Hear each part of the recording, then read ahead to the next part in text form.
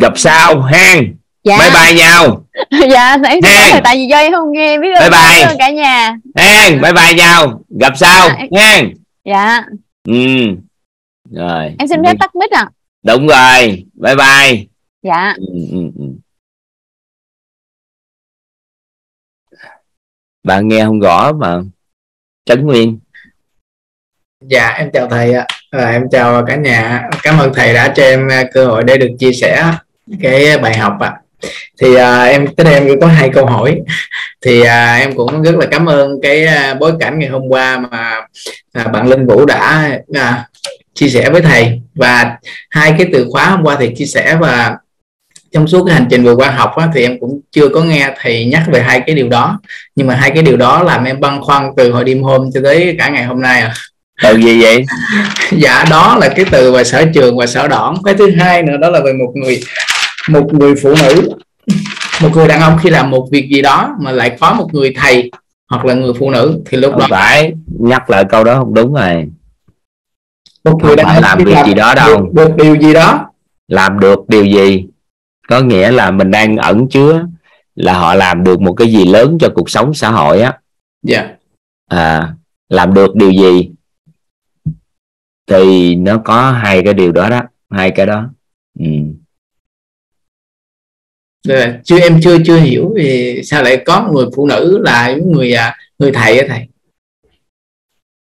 Thì anh hỏi em bây giờ á là hiện nay em sống tới thời điểm này có ai có niềm tin đối với em tuyệt đối không? Chưa. Vậy thì cuộc đời này em làm được cái gì trong tương lai nếu không có ai tin tưởng em? Dạ vậy thì từ một ngày có một người phụ nữ tin tưởng em thì thế giới này người ta sẽ dần tin em. Dạ. Hết. Và khi người đàn ông có một người phụ nữ đủ sự yêu thương bao dung và tin tưởng họ thì tự khắc họ sẽ hướng phấn đấu họ sẽ một cái chiều hướng tự giác họ sẽ hướng đến những cái điều tốt đẹp. Dạ. Ừ. tại vì em chỉ thiếu cái người kích hoạt mình thôi. Dạ. tại vì em làm gì cho xã hội này cũng không có lý do để làm. Nhưng mà khi có một người phụ nữ đủ cái sự yêu thương bao dung và chấp nhận con người của em thì em có một cái niềm tin nội tâm rất lớn. Thì em sẽ phát triển. Dạ cái này thì bây giờ em không có ai tin tưởng em tuyệt đối ha. có ai đủ sự bao dung yêu thương em và chấp nhận con người của em chưa? Và tin tưởng em tuyệt đối chưa? Tin tưởng em toàn diện chưa? Chưa. Chưa. Thì em ngẫm lại đi mình làm được gì đâu. Dạ, thì cái cái mà em em cảm nhận được thông qua cái cái một người phụ nữ á thầy. Và khi mà em quan sát lại về gia đình á khi em khởi khởi lên một cái ý tưởng gì đó để giúp đỡ cộng đồng á thì như vậy thì khi em em em chia sẻ với gia đình của mình á người ta phản đối em. thì bắt đầu người ta phản đối. À, hay quá. Nhưng mà anh làm điều gì đó thì vợ anh ủng hộ anh. Vợ đó Dạ. anh làm đi. Khi em nói chuyện với mẹ cũng vậy nói chuyện với, Ừ. với, với, với chế cũng vậy. Ừ. thì bắt đầu là nói trời ơi cô mang thì anh khác với em à, một điều tới thời điểm này là bởi vì anh có một người phụ nữ tin tưởng sớm hơn anh sớm hơn em. Dạ. Và anh có một người thầy dẫn dắt anh sớm hơn em. Dạ. Nên anh có làm được một vài cái điều sớm hơn em chứ nó không khác nhau. Dạ em hiểu cái đó. Em em người đàn ông chân nhân loại này không có khác nhau bất kỳ cái gì. Từ ngày họ có một người phụ nữ và người thầy thì họ làm được sớm hơn người khác chứ không có gì chứ còn còn nếu mà trường hợp mà giống như có rất là nhiều người thành công giống như em Edison đi. Dạ. Cũng có mẹ của ông vừa là thầy mà là vừa là người phụ nữ tin tưởng ông tuyệt đối. Dạ. Tất cả những người- lý đại trên thế giới này em sẽ hỏi thăm họ và xem lịch sử của họ. Họ ẩn hoặc hoặc họ lộ thôi. Họ đều bắt nguồn từ một người phụ nữ. Dạ. Tất cả những người đàn ông làm được điều vĩ đại của thế giới này đều vậy hết. Dạ. Thì, thì em em em hiểu được em cũng tưởng tượng ra được. Và khi mà mà em cũng quan sát á, thì khi mà một cái người nào đó mà không có cái người thầy nâng đỡ hôm qua thầy có lấy một cái ví, ví dụ là mình tự mình lấy cái tay mình nắm cái chớp tóc của mình mình mình dở mình lên thì không thể nào mình lên hỏng được. Khi mà có một cái người thầy thì người ta sẽ nâng đỡ mình lên bằng một cái cái đòn bẩy nào đó. Người ta thì anh đơn giản thôi nè. Nếu em làm bên ngành huấn luyện dạ ha. Dạ. Thì khi nào em sẽ nói chuyện được khoảng một ngàn người? Người ta ủng hộ em cả ngàn người. Không. Nhưng mà khi có thầy thì em sẽ nói chuyện được trước một ngàn người. Thì bây giờ là nếu em có anh chấp nhận à, bồi dưỡng cho em ha ví dụ ha. Dạ. Thì anh sẽ tạo điều kiện cho em cái sân chơi đó. Thì em sẽ Dạ. đứng lên nói chuyện hàng ngàn người trong tích tắc. Giống như thầy giáo Nhật Anh nè. Dạ khi nào mà thầy giáo Nhật Anh tự lực có thể đứng ra nói chuyện được khoảng một ngàn người? Dạ. à, nhưng mà hôm trước thầy giáo thay thế cho anh thì thầy giáo nói được ngàn người. Người ta ủng hộ. Dạ. Hiểu ý này không? Dạ em hiểu rồi. Đó là một hình tướng rất rõ nét mà em nhìn được thôi. Còn hàng hà hàng vạn cái vấn đề ẩn đằng sau đó khi có một người thầy trợ duyên cho mình. Dạ. Thì đó là ý nghĩa của việc người đàn ông cần có người thầy Dạ. là cái chuyện đó rồi. Nhưng mà ẩn sau đó là khi mình đã gọi người đó là thầy rồi thì mình có chỗ dựa về thông tin và năng lượng. Dạ. Khi có vấn đề gì phát sinh mình sẽ rất an tâm khi mình tìm kiếm người thầy đó xin lời khuyên. Dạ. Thì lúc đó em có chỗ vượt chỗ dựa về thông tin và năng lượng rất chắc. Nên em làm gì em tự tin. Dạ. Khi biến cố xảy ra thì có người phụ nữ bên cạnh mình đồng hành luôn luôn đồng hành với mình. Thì em cực kỳ tự tin. Thế giới này có ruồng bỏ em thì người phụ nữ đó cũng không ruồng bỏ em được. Thì Dạ. lúc thời điểm đó cả thế giới này em sẽ chinh phục. Dạ. Dạ, Hiểu em, em hiểu rồi. Khi, và khi một người đàn ông mà đổ vỡ cũng như vậy bên cạnh họ không còn cái người đồng hành cùng họ nữa nên trong một tích tắc sự nghiệp họ mới đổ vỡ còn họ mất hết tất cả nhưng người phụ nữ đó vẫn còn tin tưởng họ yêu thương họ bao dung cho họ tin tưởng chấp nhận họ thì họ làm lại từ đầu được tất cả hết dù thế giới này có bỏ họ đi. Dạ. Em em em em hiểu. Nhưng mà khi mà cái cái người vợ không có tin tưởng như vậy thì lúc anh đó không nói người vợ em đang bị đồng hóa khái niệm này. à, em sorry. à, là có một người phụ nữ mà chưa mình chưa có được sự tin tưởng nhưng mà lúc đó mình có một cái người thầy cho mình thông tin và năng lượng đó này. Thì khi mà người thầy đó thì từ từ em sẽ tìm khi một người đàn ông có người thầy thì sẽ tìm một người phụ nữ như ý hơn. Dạ dạ tại vì á một người đàn ông mà không có người thầy để dẫn dắt thì sự ngạo mạn của họ rất lớn. Làm cái gì hơi hơi là họ cảm thấy họ thành tựu. Dạ. Thì dần dần dần dần á, họ cũng không được người phụ nữ thật sự ưng ý được. Dạ. Nếu có một người thầy dẫn dắt mà theo con đường à, đạo nghĩa đâu nữa đạo lý đâu nữa trí dạ tuệ đồ này kia nữa thì cái người đó có chuẩn hơn. Còn nếu người thầy tập trung vào năng lực tập trung vào điều kiện vật chất thì thôi thì người thầy đó cũng không bền vững tại qua thời gian thì khi cuộc sống em đủ đầy họ không còn là thầy của em nữa. Sao vậy thầy? Người ta dạy em làm giàu tới khi em giàu hơn họ rồi họ là thầy của em sao? Dạ. Là nếu mình nếu mình rơi vào đó mình có trở thành ngạo ngạo mạn của nội thì tâm. trăm trăm ngạo mạn. Dạ là tôi giàu không rồi bây giờ không nói cho tại đâu vì họ không còn cái gì để dạy em nữa thì họ đâu còn là thầy của em. À dạ em hiểu còn người vợ thì thì em cũng quan sát thì khi mà người vợ như vậy thì em quan sát có nhiều khi á có những người phụ nữ bên cạnh em á ví dụ như là những người mà em quen biết thì em muốn có một cái người phụ nữ như vậy không? Dạ muốn. Thì em làm điều này nè khi nào tính lấy vợ? Dạ em định à, à, 2 năm nữa năm 2024 em vừa nói trong vòng 2 năm nữa thì nó sẽ hay hơn. Nếu ngày mai vô tình có vợ người ta kia em cưới thì sao em cũng à, dự định em là hai năm nữa. Vậy thì thua. Nếu vậy thì tiêu rồi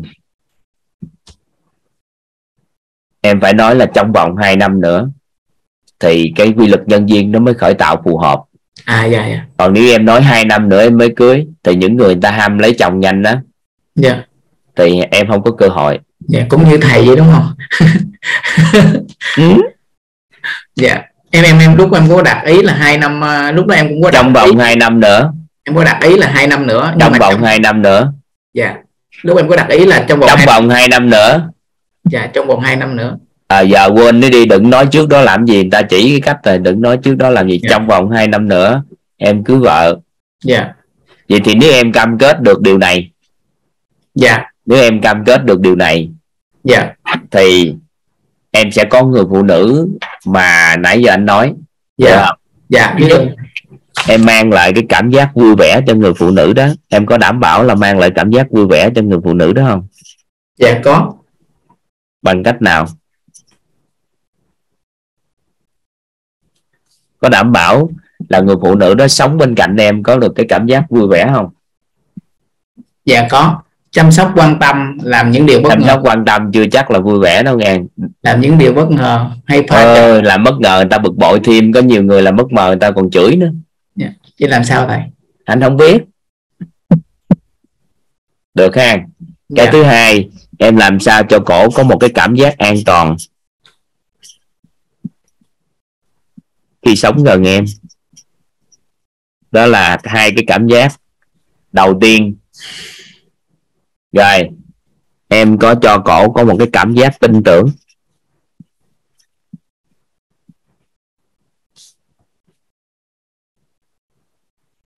Và nếu được, thì em cho cổ có một cái cảm giác tin tưởng toàn diện.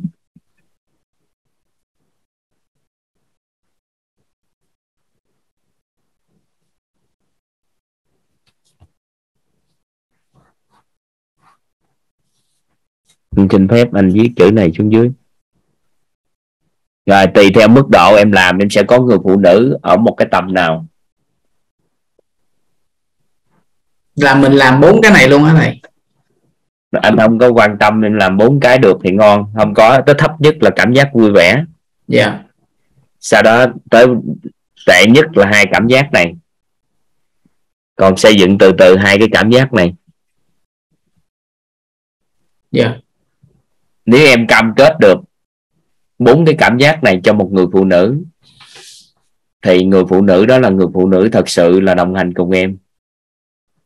Ai ở đây là người phụ nữ, có một người đàn ông mang lại cảm giác cho mình cảm giác vui vẻ, cảm giác an toàn, cảm giác tin tưởng và cảm giác tin tưởng toàn diện, thì các anh chị cảm giác sao? Các người phụ nữ, các chị nữ ở đây?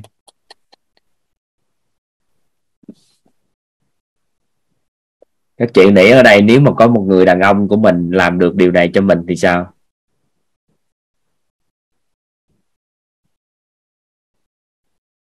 Vì là cái này là mình quan sát một người phụ nữ một đối dạ không quan sát mà mình làm cho bằng được cái cảm giác này đối với người phụ nữ. Dạ. Thì nếu em có một cái cam kết này thì em đủ tư cách để kết hôn với bất kỳ người phụ nữ nào trong nhân loại này.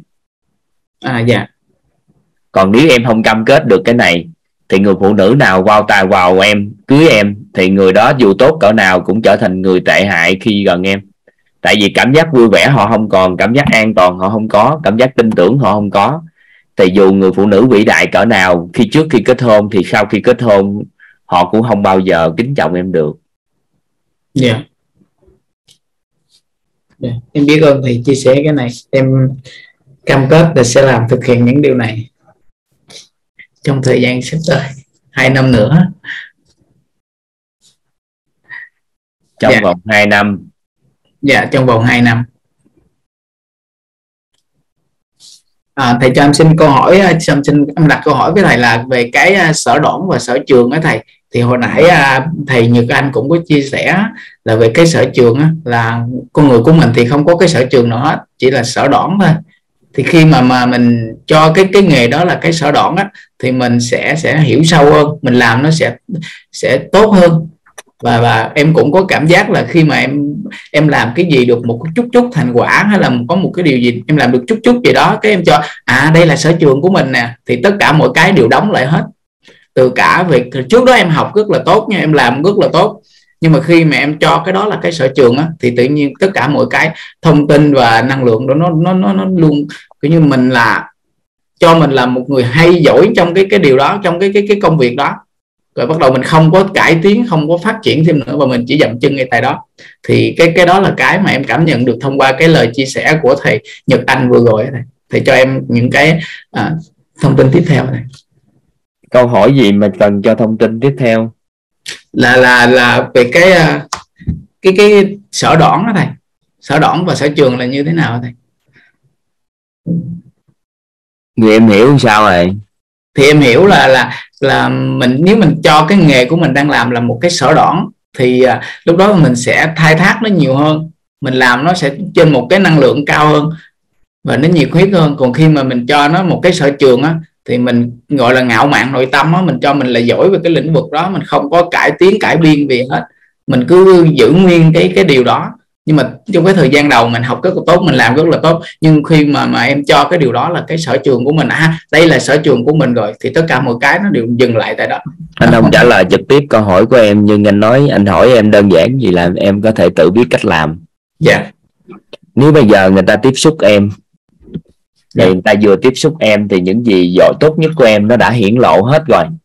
Dạ. Thì người ta càng tốt sức tiếp xúc gần em thì người ta càng chán hay người ta càng thấy thú vị. Chán. Chán. Vậy thì mối quan hệ càng thâm tình hay là càng mờ nhạt?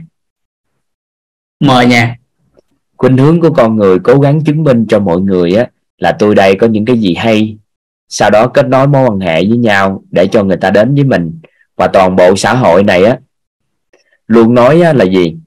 Họ dạy cho chúng ta một điều mà toàn nếu phạm vào cái quy tắc thì toàn xin lỗi các anh chị. Đó là kêu mình á phải làm sao gây ấn tượng tốt nhất ngay từ đầu đối với các mối quan hệ. Đúng chưa? Dạ. Để làm chi? Để người ta đến với mình và họ nói là gì? Khi mình không chứng minh được cái đó thì người ta sẽ không kết nối với mình từ Dạ. từ mối quan hệ sẽ người ta sẽ bỏ đi á ví dụ như ngay từ đầu em không có ấn tượng tốt á thì người ta sẽ rời Dạ. xa mình nên không có cơ hội lần thứ hai để lặp lại mối quan hệ xã hội đó thì đó là Dạ. cái cách mà người ta hướng dẫn con người kết nối mối quan hệ xã hội với nhau cuối cùng Dạ. thì cái kết quả nỗ lực chứng minh rằng ta đây làm sao mặc đồ đẹp nhất có thể mình thể hiện năng lực của mình tốt nhất có thể để người ta thấy thích người ta quen mình nhưng mà càng gần với mình thì người ta càng thấy mình càng tệ hơn là như không như họ cái tưởng trong đầu của họ. Thì lúc thời điểm đó mối quan hệ càng ngày càng mờ nhạt đi và không có mối quan hệ thâm tình thật sự. Dạ. Được chưa? Dạ. Vậy thì em làm cái gì? Xã hội này xem em là sở trường hay sở đỏn anh không có quan tâm. Nhưng khi em làm một điều gì đó thì em thể hiện ra hết những cái năng lực của em có thể. Nhưng khi người ta tiếp xúc với em người ta còn biết em có những cái mà còn sâu hơn còn giỏi hơn cái đó gấp vạn lần. Thì người ta sẽ tiếp xúc với em ngày càng sâu hơn sâu hơn và họ gặp em một năm hai năm năm năm mười năm họ vẫn còn thú vị khi gặp mặt. Bởi vì giá trị của em ngày càng tăng trưởng hơn nữa khi họ quen em. Vậy thì mối quan hệ nó sẽ kết nối sâu dày hơn. Chứ đừng có ham chứng minh rằng tôi đây là một người à, có một có khả năng rồi xong có thể hiện ra xong rồi gặp mặt cái người ta gặp rồi người ta chán chết. Dạ nắm được ý này không? Dạ. ở đây có một người hỏi hay vậy thì thầy ơi đi phỏng vấn xin việc. Trong công việc thì sao? Đừng có ham bộc lộ quá. Mình bộc lộ vừa phải để đậu trong cái công ty đó thôi. Rồi sau đó mình còn bộc lộ được hơn nữa khi người ta gần mình. Thì khi đó người ta mới thấy người này là một nhân tài cần bồi dưỡng nữa. Còn bây giờ mình bộc lộ hết cái khả năng của mình, sau đó người ta tiếp xúc càng ngày càng ngày, thấy những cái điều không tốt của mình nó bộc lộ lên. Thì lúc đó nó sẽ không có có kết nối được mối quan hệ sâu dày. Nên con người ham thích lấy sở trường của mình, đi cho đi xã hội, thì qua thời gian họ cạn kiệt cái đó. Còn nếu em đã xem sở trường của em cho xã hội thì em phải ăn học tự thầm lặng ăn học. Các sở trường vượt trội hơn cái nghề em đang làm gấp vạn lần. Thì mới được. Dạ. Có nghĩa là được quyền lấy sở trường đi. Dạ. Sau đó mới mình mới chuẩn bị đằng sau cái sở trường đó là các sở trường khác. Dạ. Vượt trội hơn. Nên là cuối cùng á cái sở trường của mình chỉnh trở thành sở đỏn dạ Dạ. nắm ý này không dạ cái cái em nắm như cái ý hồi nãy thì vừa chia sẻ là khi mà gặp cái người mà mà mà cái người mà đối diện với mình á thì mình hay thể hiện để thể hiện cái gì tốt nhất trong mình để cho chứng minh cho người ta thấy là mình giỏi. Thì đó thì xã hội hiện nay người ta đang khuynh hướng đó. Nhưng mà mối quan hệ xã hội thì đâu có nó đi theo ngược lại. Nếu em chứng minh tốt nhất sau này người ta gặp em ta thấy những gì không tốt của em thì mối quan hệ em đổ gãy. Dạ. Đối tác làm ăn cũng vậy. Dạ. Bước đầu tiên nỗ lực chứng minh cho đối tác rằng là tôi có năng lực dạ. Nhưng cuối cùng cái kết quả làm không tới cái đó thì cái kết quả đối tác chán mình. Nhưng dạ, mà ban đầu người ta chấp nhận năng lực của mình ở ngưỡng đó. Dạ. Nhưng mình càng làm mình càng thể hiện cái năng lực vượt trội hơn rất nhiều. Thì Dạ. lúc thời điểm đó đối tác đánh giá mình rất cao mà người ta thấy mình thật sự là xứng đáng hợp tác. Dạ. Còn nếu mà bây giờ mình thể hiện thì thua. Nhưng mà lỡ mình đã làm lấy sở trường ra mình thể hiện rồi dạ. thì mình phải bồi dưỡng thêm các sở trường khác bằng sao ẩn sao và biến cái sở trường mình thể hiện thành sổ đỏ. Dạ. Thì mới ok. Vậy vậy là là khi mà mình mình mình khi mình đứng mình đứng trước một cái người đối diện với mình á thì mình sẽ ứng biến những cái nó phù hợp với cái hoàn cảnh cái hoàn cảnh bối cảnh đó chứ mình không có thể hiện quá cái cái dạ cái- không. cái- nếu mà em đã em không có giấu nghề giống như bây giờ ai mà muốn biết về nội tâm thì sao? Dạ. theo em á, thì anh giấu lại không mình vẫn chia sẻ. Chia sẻ hết chứ. Anh đâu tự nhiên anh thể hiện vừa phải chi mà bối cảnh không phù hợp nên không có thể hiện thôi. Anh thể hiện hết mức có thể để giúp đỡ cho mọi người thấu hiểu. Thì cái, anh cái, nén, anh nén nén lại làm chi? Cái ý của em là là là khi mà mình mình chia sẻ cái bối cảnh ví dụ như là có cái bối cảnh ngày hôm nay thì thầy chia sẻ hết ý cái điều đó luôn. Nhưng mà còn về cái khác thì thầy không có nói. Thì có có bối cảnh nào nói? Dạ, ý của em hiểu là là thông qua mà để mà mà người ta người ta trân trọng mình nhiều hơn mà cái mối quan hệ không anh em không quan tâm tới sự trân trọng nhưng mà cái kết giao mối quan hệ xã hội nó có cái nguyên lý như vậy đó. Dạ dạ. Anh không có quan tâm là người ta có trân trọng anh hay không. Em hiểu rồi. Mà là anh nếu anh đã thể hiện sở trường rồi người ta thấy là sở trường rồi thì người ta tiếp xúc với mình mình có nhiều cái vượt trội hơn đó gấp vạn lần thì mối quan hệ mới sâu dày được. Còn nếu người ta tiếp xúc mình mình bộc lộ hết cố gắng bộc lộ hết tất cả sau đó gặp mặt với rồi chán chết thì như vậy là thua ý anh nói nguyên lý thôi. Dạ dạ. Còn anh không có quan tâm mối quan hệ xã hội đó có kết nối hay không? Tại vì anh không có quan tâm anh nói chuyện như thế này thì em có muốn quen anh hay không? Có nhiều người vừa bắt máy vô nghe anh nói chuyện họ bỏ đi. Họ không muốn nghe nữa. Anh không cần chứng minh cho mọi người biết anh là ai. Sáu buổi rồi có ai biết anh là ai đâu. Nhưng tại sao các anh chị vẫn tham gia học tập? Toàn đâu nói toàn là ai với các anh chị? Dạ. Anh không có chứng minh anh có kinh nghiệm gì anh hiểu biết gì anh không có chứng minh anh là ai anh không có giới thiệu background của anh là gì hết. Dạ. Anh không có quan tâm. Tại sao anh không có cần phải chứng minh tôi là ai để bắt các bạn ngồi ở đây? Mà là mình hết mình giúp đỡ cho mọi người thấu hiểu về nội tâm của chính mình hợp duyên thì đến với nhau. Sau nữa thì biết còn lại sau đó thì biết. Còn không có thì kết thúc. Dạ. Không có nỗ lực. Đó là làm cho người ta thấy mình vượt trội cái gì đó cao xa rồi sau đó người ta gặp người ta chán chết. Thì thua. Ý nghĩa là vậy đó à em hiểu rồi thầy ơi. Em thấy thầy chia sẻ là em luyện qua các mấy cái điều mà thầy chia sẻ như cái cái cái cái vụ mà mà sở đổn và sở trường như hôm qua vậy đó thì thì không có bối cảnh như vậy thì thầy không có chia sẻ vào ngày hôm qua. Nhưng mà ngày hôm nay thì thầy sẽ giải thích triệt để cái cái vấn đề này. Tại vì em hỏi còn ninh hôm qua thì chỉ cần nói kim lấy sở trường đi làm đi. Hiểu không hiểu thì thôi. Dạ em hiểu tại rồi. vì thời gian đâu mà mình nói rõ ra mọi cái trong khi đó nó đâu phải nó nằm trong lớp học. Dạ hiểu ý không? Hiểu hiểu rồi. Nên hỏi anh thì anh kêu lấy sổ đỏng đi làm đi. Để Dạ. chi? Cho ông mở rộng cái hiểu biết của ổng sau đó người ta tiếp xúc với ổng ta biết ổng có giỏi tiếng anh.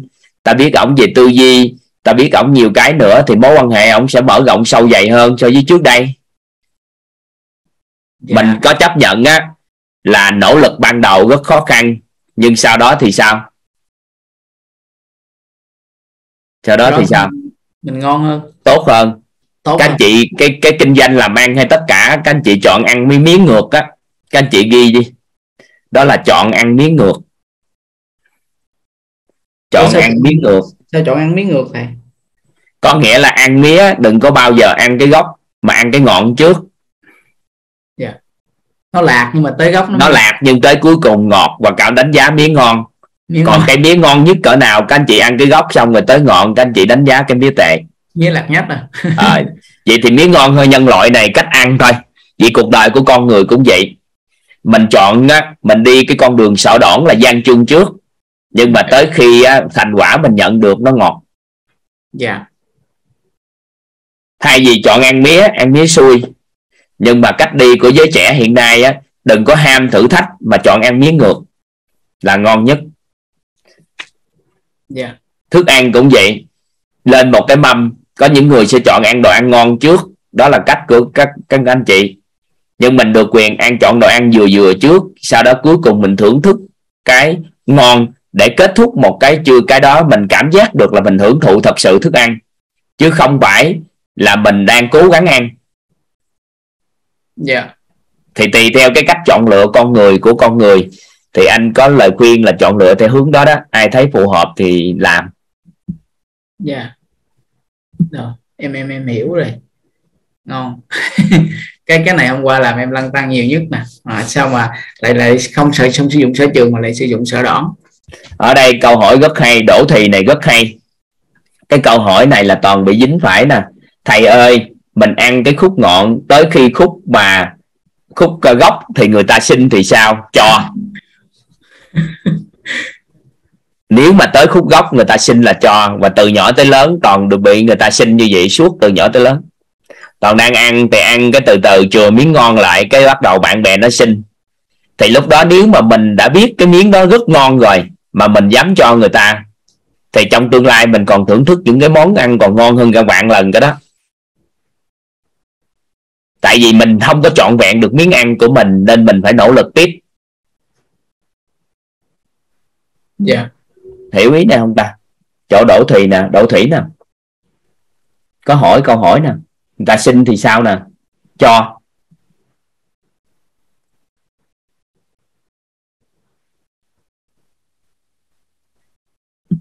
Mà khi mà mình chưa mình không ăn được cái miếng ngon thì bắt đầu mình nỗ lực tiếp để dạ ví dụ như lên bàn ăn mình chọn miếng ăn không ngon trước sau Dạ. đó những miếng ngon ta ăn rồi. Dạ. Thì cái chuyện đó người ta rất mừng khi làm ăn với chúng ta. Dạ tại vì một con người bước ra xã hội mà họ chọn biết cách biết khiêm tốn biết khiêm nhường để chọn miếng ăn không ngon của xã hội ăn và miếng ngon chừa cho người khác thì Dạ. cái người đó ra xã hội á, là đỡ bị vùi dập nhất có thể. Và từ từ từ từ á, người ta sẽ dâng miếng ngon lại cho mình ăn. Dạ. Hay quá thiệt thì nếu mà các anh chị chơi giống như nguyên chơi với một người giống Dạ. như chơi với anh cái trong cái miếng ăn cái quan sát anh ăn uống hàng ngày những gì anh ăn không ngon anh ăn anh chừa lại miếng ngon cho em. Trong công việc làm ăn anh chừa lại những cơ hội làm ăn tốt cho em. Anh chỉ hài lòng với những gì anh đã có thôi. Thì sau này em giới thiệu đối tác làm ăn cho anh không? Dạ có. Có một người doanh nhân đó thất bại làm ăn không còn một đồng nào cho không còn nhiều tiền trong túi nữa ông mới lan bàn lan bàn coi như sự nghiệp đã tan tành rồi. Thì ông đi ngang một cái sạp báo á, ông nhìn thấy một tờ báo phỏng vấn về một người doanh nhân thành công. Và người doanh nhân đó kể một cái câu chuyện về ông nội của doanh nhân đó để lại cái lời từ huấn đó cho gia đình. Thì sau khi vừa đọc xong là ông sáng lên liền và ông bắt đầu ông dùng cái số tiền ít ỏi của ông lại gây dựng sự nghiệp. Không đầy năm 10 năm sau thì sự nghiệp ông là lừng lẫy và ông đi giảng dạy cho các sinh viên của trường đại học á. Ông móc cái tờ báo đó ra. Và tờ báo nó viết như thế này. Đó là người ông nội của doanh nhân thành đạt đó đó, nói là gì? Trong cuộc sống hàng ngày á, khi chia 10 phần, có nghĩa là con làm ăn với ai? Người ta, ví dụ như phần của con là con trọn vẹn được 10 phần.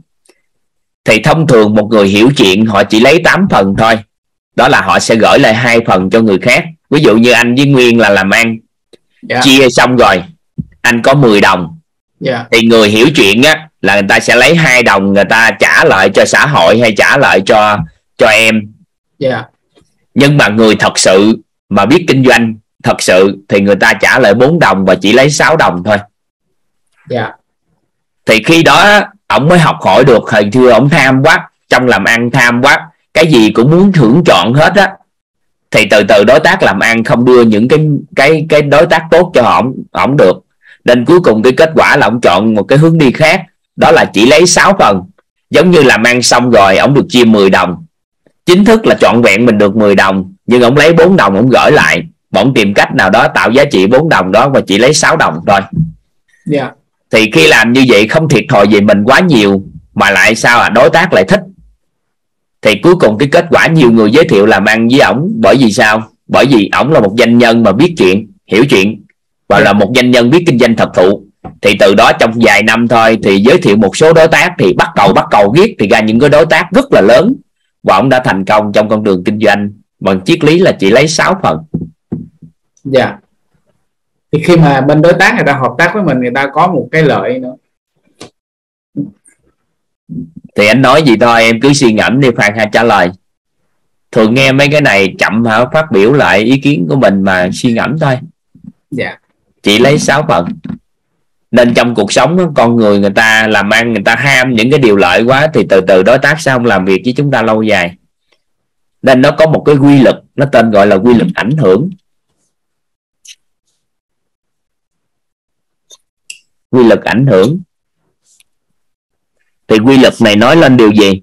Đó là đặt lợi ích của người khác lên cao hơn lợi ích của chính mình, thì mình sẽ có ảnh hưởng đối với người khác, nhưng mà không hạ thấp lợi ích của mình. Tự nhiên cái quên cái dấu hỏi hả? Hưởng hỏi hả?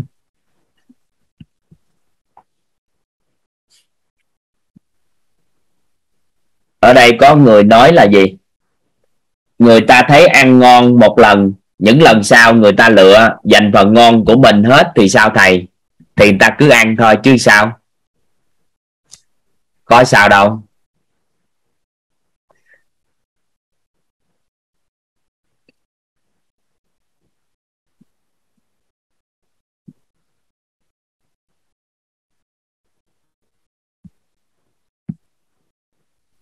Có sao đâu. Từ xưa tới giờ trong gia đình của toàn á mấy anh chị với những ba mẹ của toàn đồ này kia trách nói toàn hoài cái gì? Đó là sợ toàn bị thua thiệt so với người ở xã hội, nên là nhiều khi la toàn. Sao mà cái gì cũng nghĩ cho anh ta? Sợ bị thua thiệt, thấy con mình thua thiệt, chơi với bạn bè. Nhưng mà toàn chứng minh cho gia đình của toàn biết được làm gì có chuyện cuộc đời này thua thiệt. Trừ khi mình ham quá, mình tham quá, mình mới cảm giác sự thua thiệt còn cuộc sống của mình hài lòng với những gì mình đang hưởng thụ thôi thì làm gì thua thiệt được.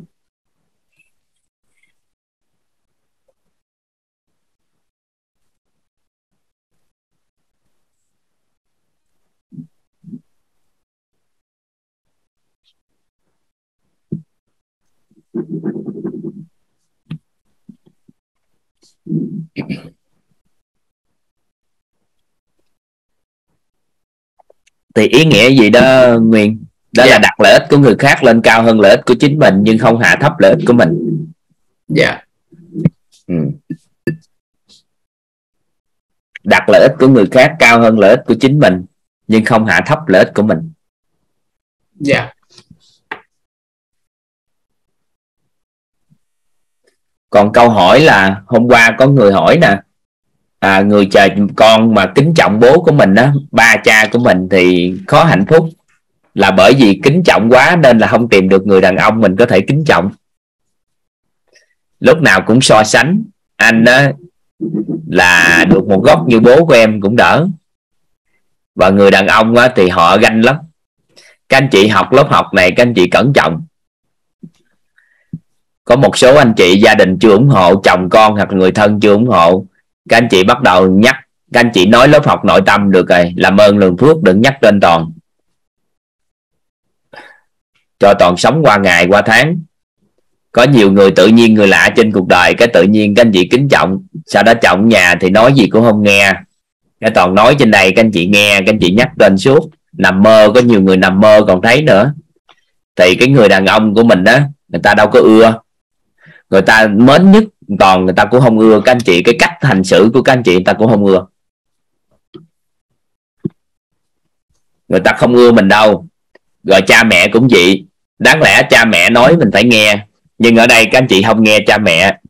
Cái tự nhiên cái gì cũng nói. Quyết cái gì cũng nói toàn nói.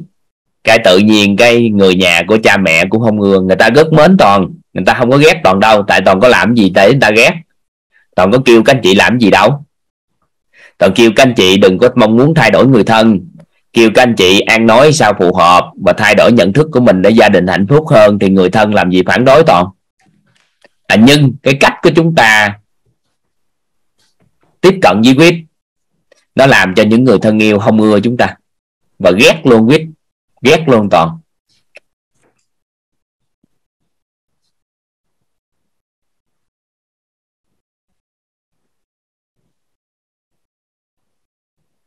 Được khen nên Dạ. chú ý cái đó một chút. Không thời gãy á. dạ. Rồi em cảm ơn thầy. Em xin à, trả lại những cơ hội cho anh chị sau. Tối nay ngủ ngon rồi. Hết lăng tăng. Ừ, mình hiểu trước. Nó thật ra người thân chúng ta ủng hộ chúng ta học quyết lắm.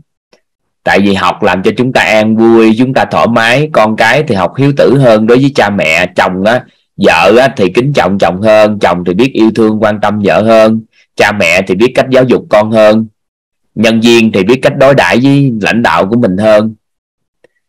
Hầu như là chúng ta học đều tốt hết nhưng tại sao người ta phản đối chúng ta học? Các anh chị coi lại cách ăn ở của mình. Học xong được. dạy lại. Ừ. nên mình chú ý cái đó một chút xíu nhưng mà tại giai tại sao mình vẫn để? Là bởi vì do các anh chị đã có sự chuyển hóa lớn trong cuộc sống đó, không tôn trọng cảm xúc của các anh chị cho các anh chị thể hiện á các anh chị bị bế nội tâm. Nên toàn vẫn để cho các anh chị thể hiện cảm xúc đối với quyết. Nhưng mà quyết là một cái thực thể sống. Nó sống được nhờ cái nguồn năng lượng của an vui bao dung và trân trọng biết ơn chính sự ủng hộ, quan tâm yêu thương của các anh chị mà quyết ngày càng lớn mạnh hơn. Thì à, quyết sẽ là chỗ dựa, cái nơi để bảo hộ cho các anh chị về thông tin và năng lượng. Để khi các anh chị cần cái sự an vui, cần một cái nơi nào đó có một nguồn năng lượng tương đối thuần để hỗ trợ cho các anh chị vượt qua được vấn nạn cuộc sống hay là vươn lên đến chinh phục những cái thành công, thì quyết là chỗ dựa đang, toàn đang xây dựng cái tinh thần của quyết như vậy. Nên là chúng ta cùng nhau bảo vệ môi trường của mình cho thế hệ con của chúng ta. Cùng nhau làm. Nên mình khéo một chút xíu. Ừ. rồi xong rồi có một số anh chị à, có người thân chồng á xúc phạm đến quyết hay xúc phạm đến à, toàn hay xúc phạm gì đó. Tại người ta đâu biết gì đâu mình học tối ngày mà người ta chửi. Người ta thường mấy con cũng vậy thấy cha mẹ học có nói một số con giống như ninh rồi nè đi du học, rồi một số con nó sẽ nói như thế này. Biết bao nhiêu người nổi tiếng trên toàn thế giới này không chịu học? Học đầu ngông trong nước này học để làm gì? Ờ, con cái nó sẽ chửi mình, nói mình chọn lựa sai lầm khi học quyết thiếu gì người nói. Con cái du học đây đó, hoặc là những người học cao, học thạc sĩ, tiến sĩ hay là những người đó, ta đã biết bao nhiêu người để học học tự nhiên học, không biết tìm không ra không toàn lai. Nhiều lắm, nên chúng ta khéo chút xíu chúng ta khéo chút xíu. Ừ.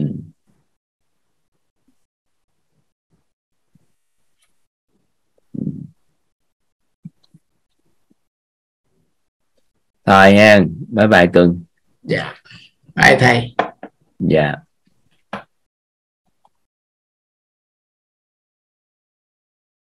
Xin mời hồng phấn ha.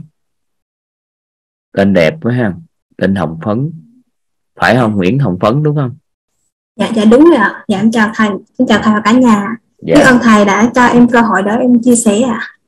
À, thì cũng ngay cái bối cảnh này đó thầy cho em xin hỏi là cái trường hợp là nếu như người phụ nữ mà cần tìm một người mà mình kính trọng á, thì mình tìm ba mình á, là một người kính trọng nhưng mà ờ, nếu mình không tìm một người chồng á, thì mình chỉ khuyết cái chỗ là hôn nhân thôi phải không thầy? hỏi lại một cái Dạ cho em hỏi là cái trường hợp là đối với một người phụ nữ á, thì à, họ nếu mà họ tìm một người mà mình kính trọng mà mình mà mình tìm mà đó là người cha của mình mình lấy người, cái hình ảnh người cha mình làm người kính trọng nhất thì à, nhưng mà mình không có nghĩa là mình ý là mình không khuyết chồng á thầy. Thì à, thì mình chỉ khuyết cái chỗ hôn nhân thôi chứ còn cái chỗ những vấn đề khác thì bình thường đó thầy. Rồi sự nghiệp đó thì bình thường đó thầy. Bình thường hết đó chứ chỉ khuyết hôn nhân thôi. Dạ. mình không mình phải hiểu gì nè tự bản thân người phụ nữ có khả năng tự bản thân hạnh phúc. Nhưng nếu có thêm người đàn ông thì hạnh phúc hơn thôi. Dạ. Chứ mình không có mình không có nhất thiết phải có người đàn ông bên cạnh. Dạ. nhưng mà về âm dương á về âm dương thì nó thiếu cái cái điện từ âm dương để cân bằng thì cuộc sống của mình nó bị hơi bị rối loạn chút xíu. Trong xã hội thì mặt bằng chung của xã hội người ta đều vậy hết nếu mình khác đi mình sẽ tìm được cái lý do tìm được lý do để mình có thể sống như vậy một cách rất là vui vẻ thoải mái thì người ta không đánh giá gì hết Yeah. thì cái đó không sao đâu Yeah. nó thật ra nhưng mà có một số người thì họ chọn con đường tâm linh thì mình được quyền chọn chi kỷ để sống với nhau mà hoặc là trao đổi với nhau trong cuộc sống Yeah. ừ. Dạ, biết ơn thầy. Cho em xin hỏi cái nghi vấn thứ hai là à, qua học vào cái chỗ mà um, cái, cái chỗ mà đỡ mà nhận được tánh không á thầy. Thì em hỏi là làm cách nào đỡ mình à, tạo phước báo và mình luôn nhận được tánh không á thầy? Thì phước đức đâu có mang lại tánh không chút xíu mình học về công đức phước đức ác đức hiểu rõ nó mới được. Công đức nó mới mang cho mình cái sự an vui chứ. Phước đức mang cho mình cuộc sống đủ đầy về vật chất thôi. Dạ. ừ. Mình hiểu cái đó thôi chứ chưa hiểu cái khái niệm thì nên bây giờ nói phước thì không đúng. Dạ. ừ. Do là em là đây là lần thứ ba em nhận được tánh không nhưng mà hai lần trước là em dùng cái à, cái gì vở tiềm thức á em nhận được tánh không. Nhưng mà khi mà em cũng nhận được nhưng mà mình phải qua cái cơn đau khổ mình mới nhận được tánh không. Thì đợt gần đây thì em nhận tánh không là em trong cái ờ, một cái nhận cái bất ngờ mà vừa vui vẻ nữa. Thì thì em xem cái em muốn hỏi thầy làm sao để duy trì bởi vì lần lần thứ ba. Duy trì thì nhờ từ công đức thôi chứ đừng ham duy trì cái trạng thái đó. Dạ. Người càng ham duy trì trạng thái đó thì nó rơi vào cái đó thì mình tham á. Mình tham từ từ nó nó chuyển qua nhàn hạ thích nhàn hạ không muốn làm bất kỳ điều gì. Một người đạt được trạng thái an vui khác với một người á là không muốn làm điều gì trong cuộc đời này. Không muốn làm điều gì là thích nhàn hạ thì thích hàng hạ là đặc tính khác, còn an vui nó khác. An vui của nội tâm nó khác với thích nhàn hạ. An vui của nội tâm là làm bất kỳ điều gì cũng an vui được, còn thích nhàn hạ là không muốn làm điều gì. Có nghĩa là muốn làm gì thấy bôn ba hay là thấy muốn làm cái tự nhiên, muốn bỏ hết, muốn buông hết mọi cái, thì con người thích nhàn hạ thì nó không nên, mà an vui thì cần. Ví dụ như giờ toàn đang làm nè, toàn đang chia sẻ, các anh chị có thể là toàn đang làm không? Nhưng mà nếu làm trong cái trạng thái của sự an vui, không có dính mắc thì ngon hơn là không làm gì để trốn một chỗ, bình yên ngồi một chỗ gì đó. Rồi tối ngày, cứ sống cô lập, không có gặp ai, rồi cảm thấy rất là thanh tịnh, an vui. Thích lắm, mình hiểu lầm, cái đó là nhàn hạ, chứ không phải an vui thanh tịnh là cái đó. Mình phải hiểu kỹ cái đó, nếu không thôi rơi vào cái bẫy đó. Yeah.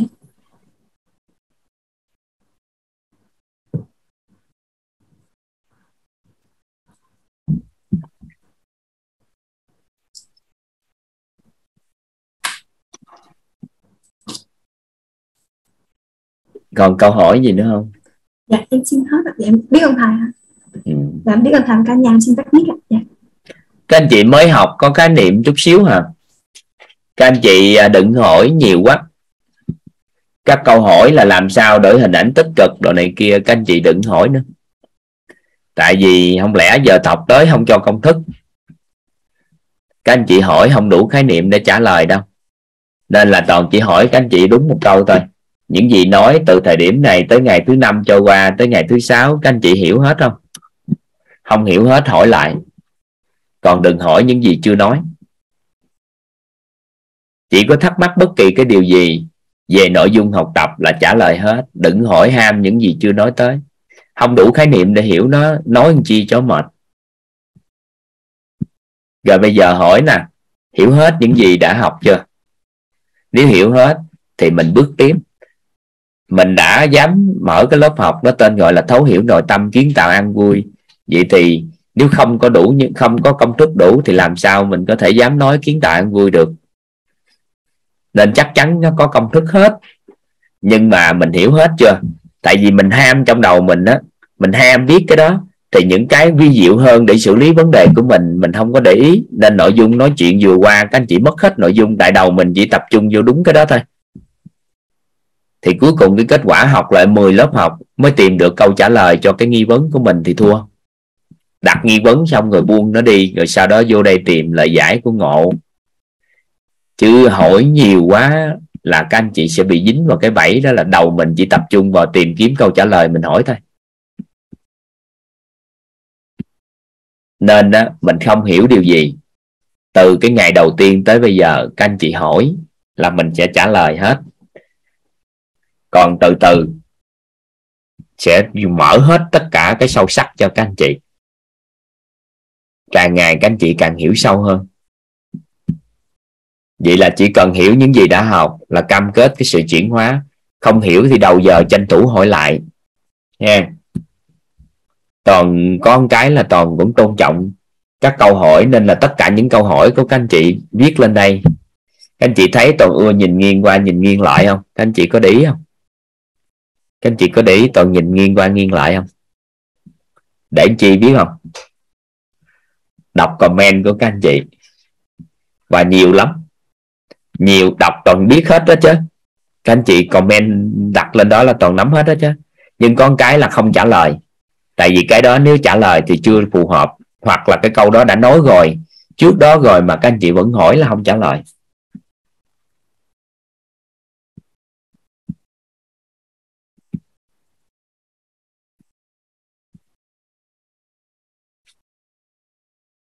Nên là mình coi, mình xem xét, mình từng bước ha. Từng bước từng bước không vội. Có một câu nói trong tổ chức của mình thường hay nói, đã thấy đích đến thì sao ạ? À? không cần phải vội, mà không thấy đích đến thì sao? Vội để làm gì?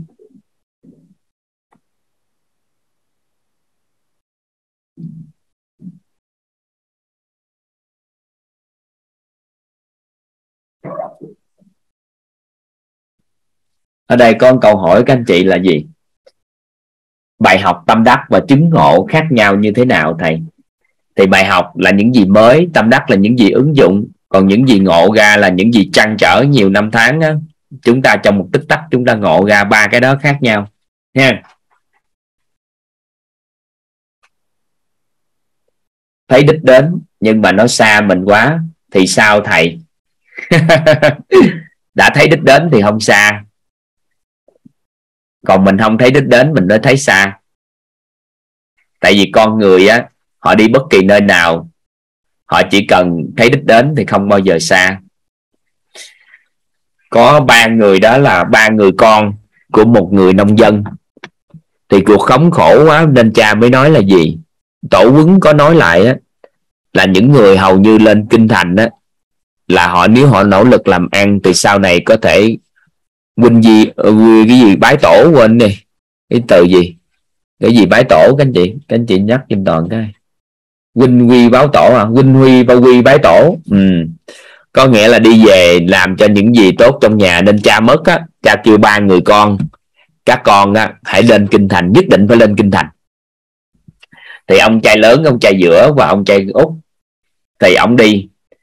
Các anh chị biết thời gian mà câu chuyện này xuất phát từ Trung Quốc mà các anh chị biết từ mà biên biên giới mà đi tới kinh thành thì đi bao nhiêu ngàn cây số? Sao biết được? Và ở vùng đó không ai có thể hình dung là đi đến kinh thành là đi đến như thế nào. Và đi suốt, xuyên suốt xuyên suốt, có đường là đi, có đường là đi. Thì tới một nơi thì nó có ba cái ngã rẽ.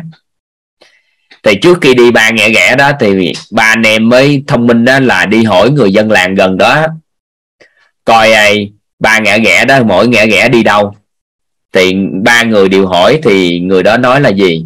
Từ xưa tới giờ ở quê hương này chưa có người nào lên được kinh thành hết, nên là cũng không biết đường nào tới kinh thành đâu. Thì bắt đầu á, cái người, ba người anh mới nói thôi vì anh chọn bên tay trái anh đi. Còn người giữa thì nói, chọn đường thẳng đi, đường tới đi. Còn con trai út á, thì chọn đường bên phải đi nhưng mà tự nhiên ba người đi hết thì con trai út còn lưỡng lự á. Hỏi là tổ quấn có để lại câu nói gì hay không gì đó. Thì cuối cùng ông đó mới nói là có một câu nói. Đó là con đường đi sai, nó vẫn là con đường. Chỉ có câu đó thôi. Để lại.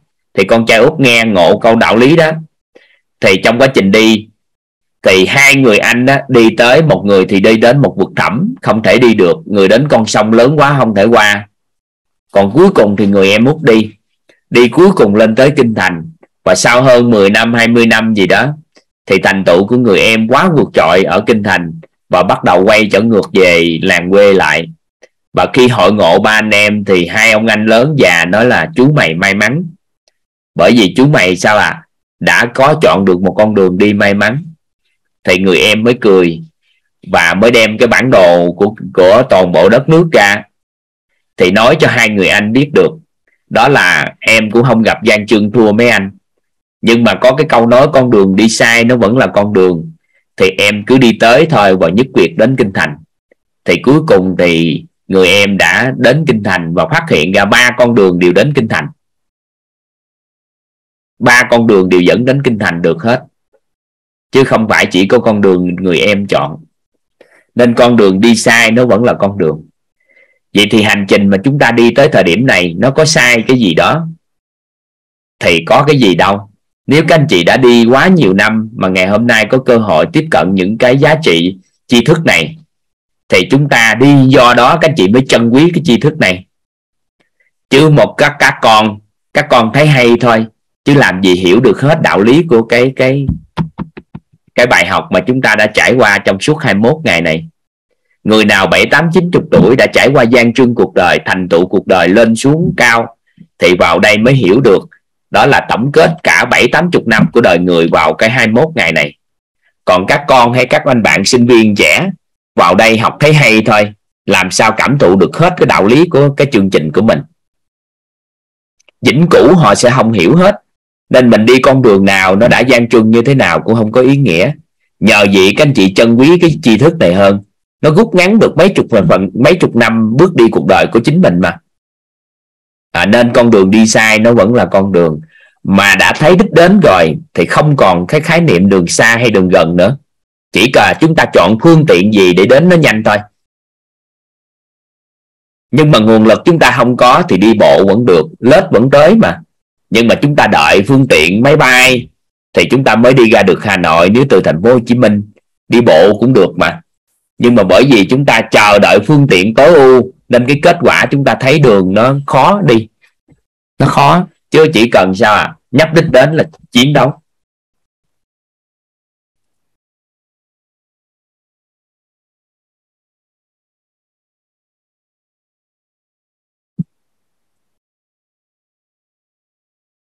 An chúng ta nắm ha chúng ta nắm này.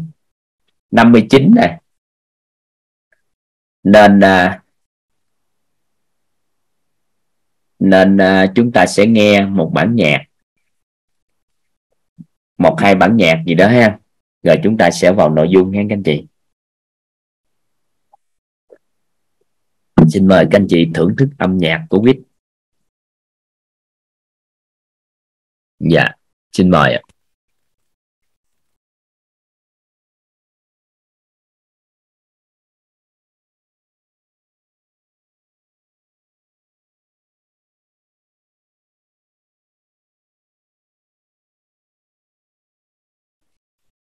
Hello các anh chị. Chúng ta bắt đầu nghe các anh chị.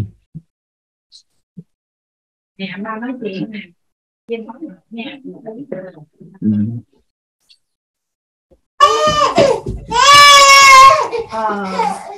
Ừ. đang ngủ nên là mấy anh về để chuẩn bị uh, soạn sẽ nhiều người dữ. Một ca rồi. Mình uh, nói chuyện nhỏ lại cả nhà ơi. Bắt đầu lớp học này ai chúng ta sẽ bắt đầu bữa nay nghe các anh chị. Toàn xin hạ tay các anh chị à, xuống ha. Một số anh chị giơ tay bữa nay chưa có cơ hội chia sẻ ha. Dạ. Dạ. Rồi các anh chị bữa nay chúng ta sẽ học về uh, tiếp theo về cấu trúc con người. Các anh chị ghi để chúng ta nhớ ha. Về tánh người các anh chị. Tánh người thì đầu tiên chúng ta tìm hiểu các uh, khái niệm trước. Các khái niệm trước. Đó là 16 tánh người. Anh chị ghi giúp toàn đây nghe. Nghe gì đâu nghe đại ca. Nghe thấy nói biết. À gì nữa hả? Tánh người nghe hả? thấy nói con chào cả nhà đi con chào cả nhà. Ừ. nghe thấy nói biết thọ tưởng hành thức tài sắc danh thực thùy. Ờ, gì đây? Có tham không ta. Tham mình à, tham sân si ờ, mạnh mạnh nghi ác kiến ác kiến ác kiến. Rồi để ba làm việc. Dạ. đây đúng các anh chị ghi các anh chị. Thọ. Theo tiếng hán việt thì thọ có nghĩa là nhận và thu nhận vào. Có rất là nhiều nghĩa nhưng chúng ta chọn cái nghĩa là nhận thu nhận vào. Thọ. Thọ là nhận là thu nhận vào. Anh chị ghi giúp toàn thọ là nhận là thu nhận vào dạ. Thứ hai là hành. Là chi sức ra. Ủa. Ê, tưởng chứ. Thứ hai là tưởng. Tưởng á thì các anh chị cứ hình dung nè. Tưởng về quá khứ được gọi là tưởng nhớ. Tưởng ở hiện tại được gọi là tưởng tượng. Còn tưởng về tương lai được gọi là liệu định. Nên từ tưởng có ba ý nghĩa. Đó là tưởng nhớ tưởng tượng và liệu định còn hành là chi sức. Các anh chị đánh từ chi sức lên tiếp toàn dạ. Hành là chi sức ra. T R U I dài. Sức dạ. Chi á, Dạ. chi á, u u u i á. Dạ chi sức ra. Dạ đúng rồi. Rồi thức á, là biết là ý thức. Chúng ta chưa học về tánh người nghe nhưng chúng ta coi những từ này nó có ý nghĩa gì? Theo cái nghĩa của hán việt gần nhất đối với cấu trúc con người của chúng ta thì chúng ta học nghĩa trước. Tài thì đó là tiền tài và tài năng. Tài tài năng sắc và sắc. Tài là tiền tài là tài năng. Sắc, Sắc là, là sắc sắc thân. thân sắc tự tướng sắc tướng để bà thầm lặng rồi để bà làm khi nào à, bà nhờ cống hiến gánh vác thì bà sẽ nhờ hỗ trợ. Sắc là sắc thân là sắc tướng. Sắc thân có nghĩa là gì các anh chị? Con biết. Là thân mình mình nè. Các anh chị đã từng nghe một ai đó nói một cái thuật ngữ tên là trọng sắc thân chưa? Các anh chị từng nghe một cái thuật ngữ tên là trọng sắc thân không? Các anh chị từng nghe là từ trọng sắc thân? Các anh chị có từng nghe là trọng sắc thân không? đúng rồi trọng sắc thân. Trọng sắc. Ừ. có nghĩa là sao? Là cái người đó hàng ngày á xem trọng bản thân của họ. Lắm. Một cái vết nứt đứt trên tay một cái móng tay có vấn đề thì họ cũng làm cho nó quá lên. Rồi trọng sắc thân quá nên là họ ngủ phải những nơi nào đó đẹp nhất. Trọng sắc thân nên ăn những cái gì phải ngon nhất chọn sắc thân nên mặc bộ đồ phải đẹp nhất. À, để chi? Để cung phụng cho sắc thân này tốt nên người ta thường người đó nó quá trọng sắc thân. Còn người trọng sắc thân đơn thuần thì họ chỉ tôn trọng cái thân này nhờ thân này mà mình tốt. Thì thái độ đối đãi nó khác còn quá trọng sắc thân thì nó khác nữa. Các anh chị nắm ý này ha. Rồi sắc tướng là sao? Ai ở đây đã từng thấy một người nào đó mặc bộ đồ cái mình nói mặc bộ đồ đó không hạp mà cũng mặc nữa. Vậy thì chúng ta biết nó như thế nào là hạp với không hạp với con người. Thì sắc tướng có nghĩa là người đó có sắc tướng về thời trang, nhưng có số người sắc tướng về ngôn ngữ, đó là nói cái gì ra mà không có đúng chính tả, hay là không có câu từ nó không có có rõ ràng, thì người đó bực bội, khó chịu. Nhưng có số người thì quan sát là một cái tấm tranh ảnh đó, chỉ cần treo nó nghịch một chút xíu thôi nó chịch cho một gem gì đó thôi. Một cái mili thôi là mình quan sát được liền là nó lọt này thì cái đó là người có sắc tướng sắc tướng ngôn ngữ sắc tướng về à, nhà cửa có một số người là sạch sẽ mới được dơ không được. Được không? Đó. thì đó là cái từ sắc tướng. Danh. Danh đó đây là danh tiếng.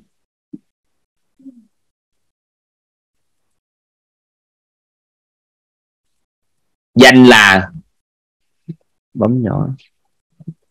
Danh là danh tiếng. Thật là ăn. Thùy là là ngủ là nghỉ. Thật là ăn. Thùy là ngủ là nghỉ tham là ham muốn, thật là ăn, thùy là ngủ là nghỉ. Tham là ham muốn.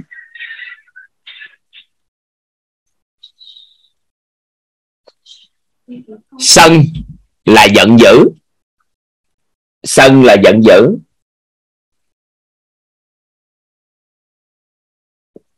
Si là mê muội si là mê muội. Mạng là ngạo mạn. Mạng là ngạo mạn. Đây là những thuật ngữ gần với tánh người nên là mình mình hiểu trước nha các anh chị. Nghi là hoài nghi. Nghi là hoài nghi nghi. Ác là tàn ác kiến là cố chấp. Rồi mình ôn bài cùng với toàn nè. Rồi tham là gì các anh chị? Tham chúng ta hiểu đơn giản là gì? Tham. Ham muốn. À vậy thì tham là ham muốn nha. Mình đừng đồng, có cái đồng, đừng đồng hóa khái niệm tham là tham lam. Nên là tham là ham muốn thôi vậy thì một người ham muốn giúp đỡ con người thì cũng được là tham không? Theo các anh chị, họ tham không? Họ tham giúp người không? Là ham muốn giúp người thôi. Được ha. Rồi sân. Thì khái niệm là giận dữ. Si là mê muội. Tưởng là gì các anh chị? Nếu tưởng chúng ta định tưởng về quá khứ là tưởng nhớ tưởng ở hiện tại là tưởng tượng, còn tưởng về tương lai là liệu định. Giống như chút xíu nữa đây, khi chia tay với các anh chị trên lớp học, thì đoàn, nguyên đoàn chúng ta sẽ về Hà Nội. Khoảng 10 giờ 30 trễ nhất là 11 giờ chúng ta sẽ di chuyển. Vậy thì, đó là liệu định. Được chưa? Cái nằm trong cái tưởng của con người không? Tưởng. Liệu định là chút xíu nữa chúng ta đi Hà Nội. Được ha. Rồi thức là biết. Thức là biết là ý thức. Thì cái đó là những thuật ngữ để chúng ta hành là chi xuất ra thọ là nhận vào.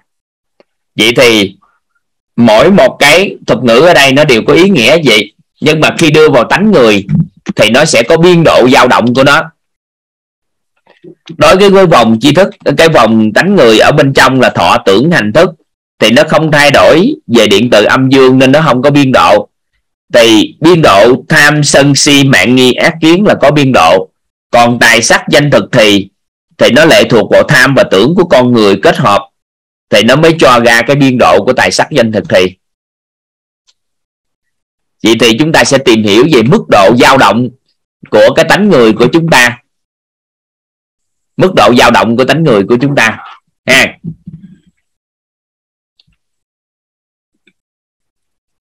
liệu định có nghĩa là mình định mình định cái điều đó mình sẽ làm và mình liệu chừng á là khi nào làm nó thì gọi là liệu định. Còn mình nói mình à, tưởng là mình sẽ có căn nhà thì nó không phải là liệu định nó lúc đó là mình tưởng tượng là mình sẽ có căn nhà, còn năm sau xây nhà là liệu định. Đó, ý nghĩa gì đó? Liệu định là là nghĩ về tương lai. Liệu định là tương lai.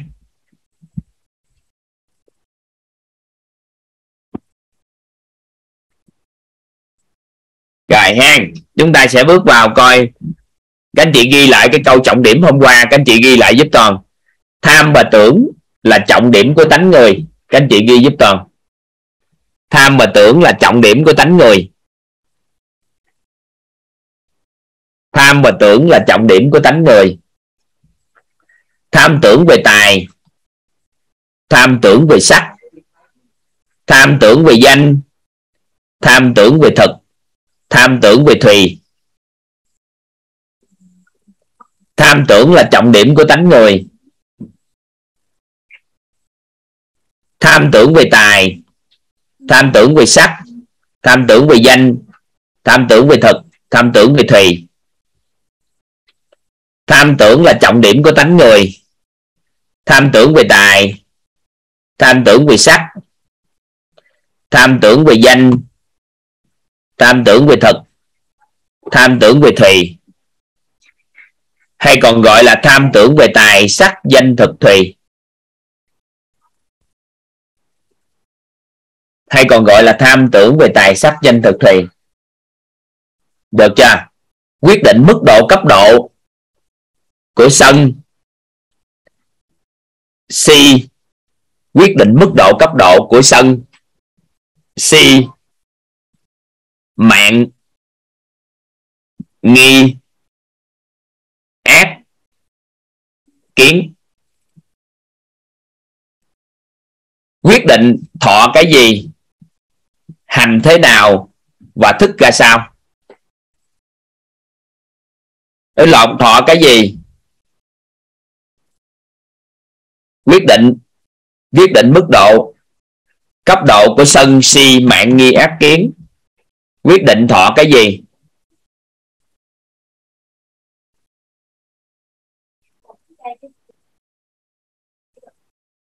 Quyết định thọ cái gì?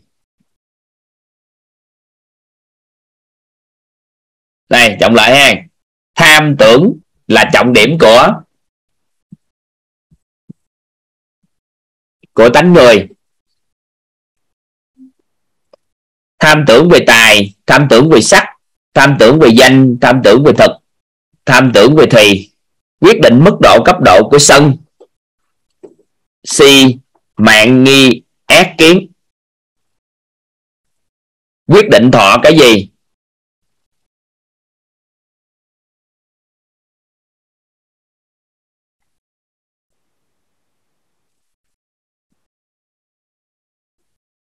Kịp chưa? Kịp chưa? Nè, thọ tưởng là trọng điểm của tánh người.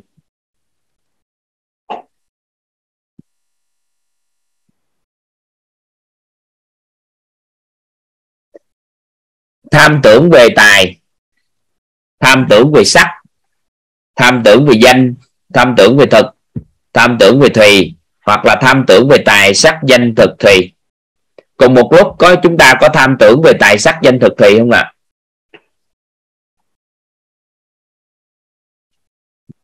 Quyết định mức độ cấp độ của sân si, mạng nghi, ác kiến, thọ cái gì, hành thế nào và thức ra sao?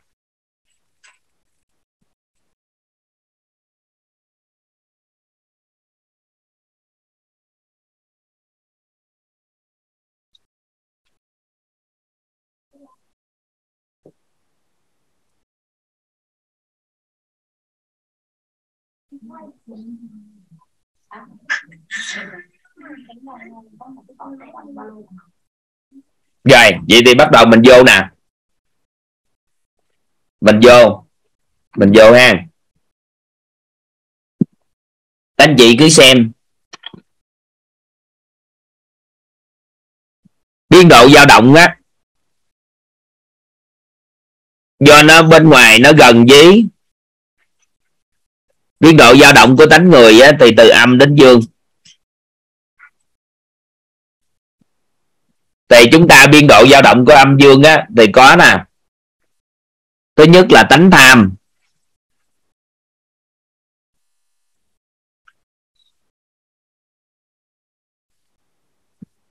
Có tánh sân. Mình có ví dụ chứ. Mình có ví dụ hết chứ mình à, mình lấy ví dụ kỹ lắm các anh chị. Nên các anh chị cứ ghi chép cái câu đó đi rồi chút xíu chúng ta giải thích. Tính si.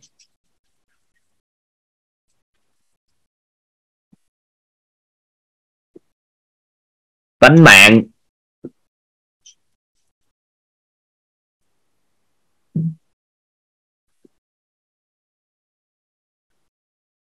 Tánh nghi.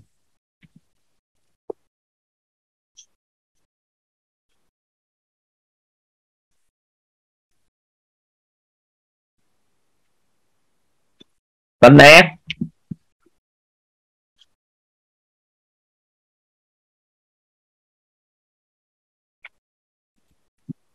tánh kiến.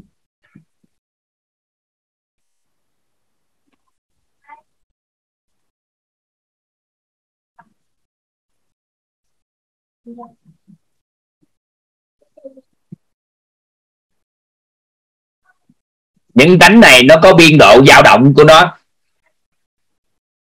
và chúng ta biết tham tưởng là trọng điểm của tánh người. Nên là các anh chị tìm hiểu coi biên độ dao động của tham nó có biên độ, mức độ ở đâu. Tham á, của con người của chúng ta, mức độ mà tham theo chiều ứng âm, thì mức độ cấp độ của tham là tham lam.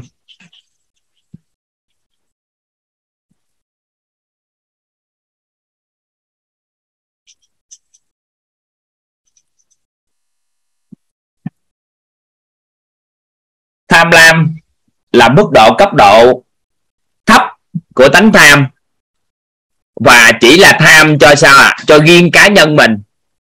Một người ham muốn riêng cho cá nhân mình thôi. Thì tánh của người đó đẩy xuống với chiều hướng âm. Tánh tham theo chiều hướng âm, người ta gọi là tham lam. Nhưng mà một ai đó tham cho chỉ có chơi riêng cho chủ thể khác thôi, thì người ta gọi là hào phóng.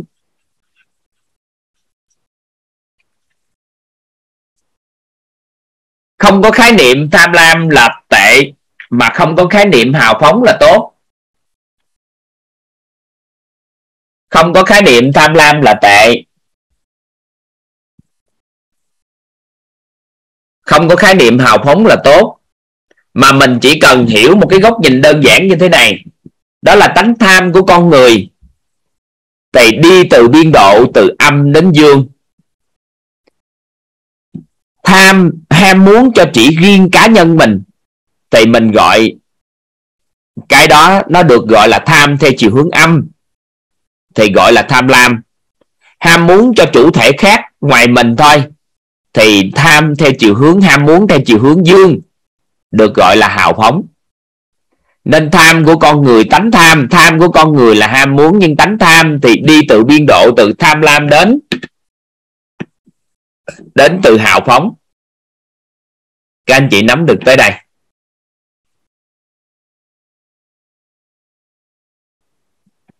Các anh chị nắm tới đây, giúp đỡ toàn cái nắm tới đây. Vậy thì từ giờ trở đi, nếu được thì các anh chị giúp đỡ toàn. Đừng đồng hóa thái niệm tham là tham lam. Mà tham có nghĩa là ham muốn. Và tánh tham của con người biên độ dao động từ tham lam tới hào phóng. Có những người tham 7 phần cho mình, ba phần cho người. Có những người tham 5 phần cho mình 5 phần cho người. Có những người tham 10 phần cho người và không có phần nào của mình. Thì những người nào đó chỉ nghĩ về lợi ích của người thôi, ham muốn cái gì tốt đẹp cho người về tài sắc danh thực thì thôi, thì người đó người ta định nghĩa là hào phóng. Nhưng ham muốn về tài sắc danh thực thì cho mình, thì người ta gọi là tham lam. Thì biên độ dao động từ trẻ từ tham lam đi đến hào phóng. Vậy thì do cái chiều hướng nó đi từ âm đến dương, không có nghĩa là hào phóng là tốt, không có nghĩa là tham lam là tệ, mà con người tham lam quá là đẩy tới chiều âm rồi thì sao? Thì sẽ trở nên hào phóng. Mà một con người quá hào phóng thì từ từ sẽ tham lam. Ví dụ một số người giúp người, liên tục giúp người. Qua thời gian hỗ trợ cho người rất nhiều, cái tự nhiên cảm giác một ngày đó thôi.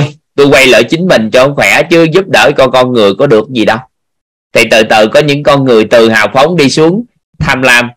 Và có những con người gì lại cho mình hết, nên phải đi giúp người. Vì muốn cho mình tốt đẹp nhất có thể, cuộc sống mình tốt nhất có thể, nên phải hào phóng với con người. Mới bắt đầu từ từ từ giúp con người.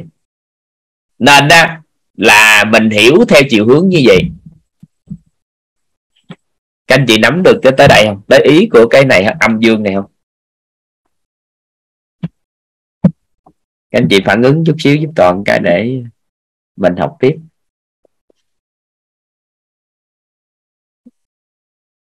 Ở đây có có anh chị à, Yến Nguyễn nói không ạ à, thì giơ tay giúp toàn.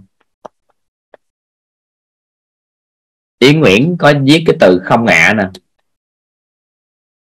Không là sao? Không là sao chị? Dạ. Dạ em chào thầy. Không là sao?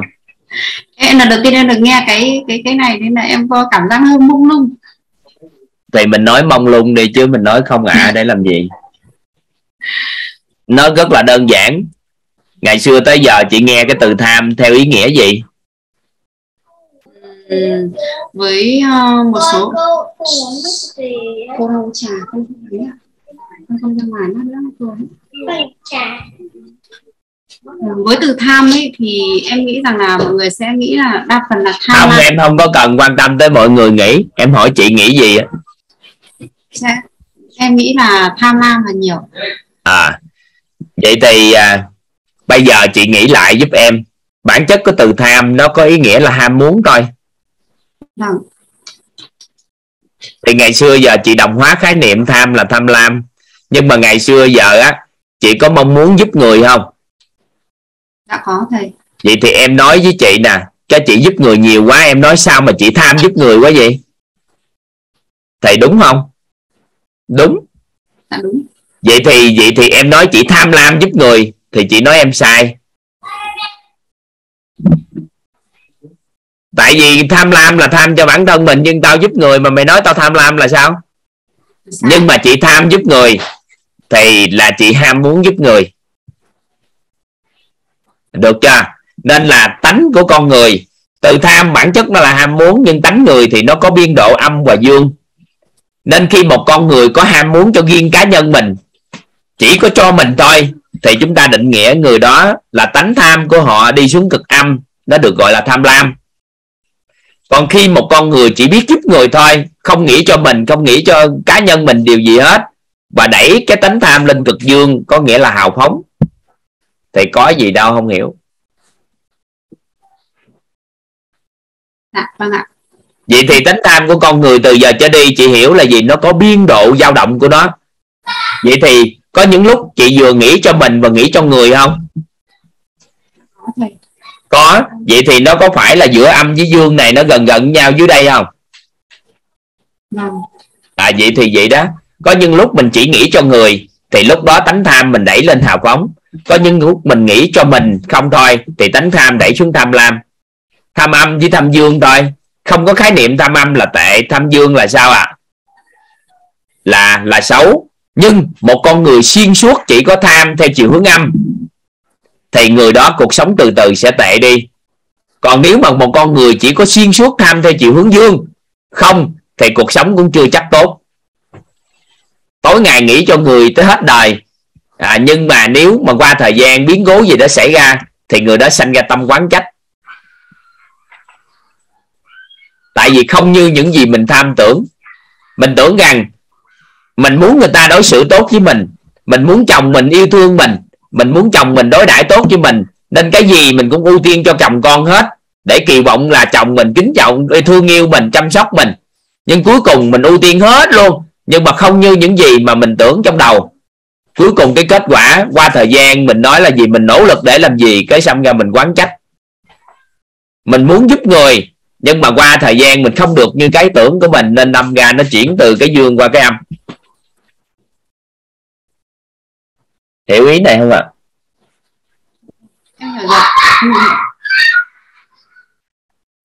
Chị? Dạ em hiểu ạ. Ừ, được chưa? Thấu hiểu chưa? Dạ vâng. Nó đơn giản quá mà. Tại vì do chị không buông được cái khái niệm cũ trong đầu là tham là chị đại diện cho tham lam nên nghe cái chị bị dính mắt. Hiện nay người ta đang đồng hóa khái niệm sân là là gì? Là giận dữ nhưng không có đâu sân theo chiều hướng âm á, nó mới là giận dữ.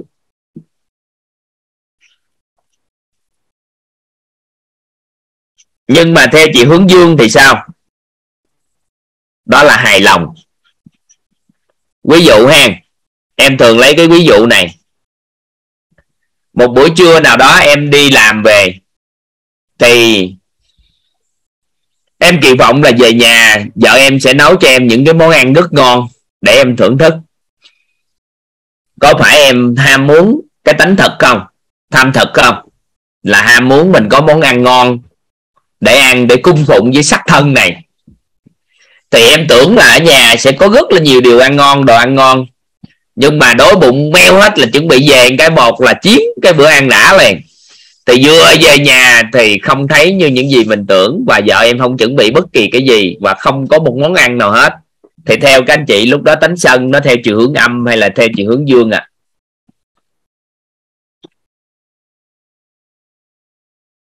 theo chiều hướng âm hay dương à theo chiều hướng âm, thì lúc đó cái sân nó sẽ theo chiều hướng giận dữ. Tùy theo tâm trạng em điều tiết, nhưng mà thông thường trường hợp đó nó sẽ đẩy theo chiều hướng chiều hướng âm, nếu cái tưởng của em nó còn và cái ham muốn của em còn tột cùng tột độ. Nhưng mà một ngày đẹp trời thì vợ em nói, anh ơi, bữa nay buổi trưa về không có đồ ăn gì trơn, anh tự ăn mì gói hay là gì đó nghe. Anh tự ăn nghe. Không có đồ ăn gì hết, em đi công việc rồi. Anh tự lo sinh mạng của mình nghe. Thì lúc đó tham là tưởng của toàn nó dừng lại và nó không yêu cầu vợ toàn nấu ăn gì nữa. Cái trưa về tính thôi, ăn qua lo sẽ đi làm thì vừa chạy về nhà, cái bà xã toàn dọn ra một mâm cơm rất là thịnh soạn. Và nói là gì? Em cũng tranh thủ nhất có thể, nhưng dọc đường thấy những món ăn này ngon quá, nên em về em tranh thủ nấu cho anh ăn để có gì anh đi công việc buổi chiều luôn. Thì lúc đó sao à tánh sân này nó chuyển lên hài lòng, ngon không? Các anh chị hiểu ý này không?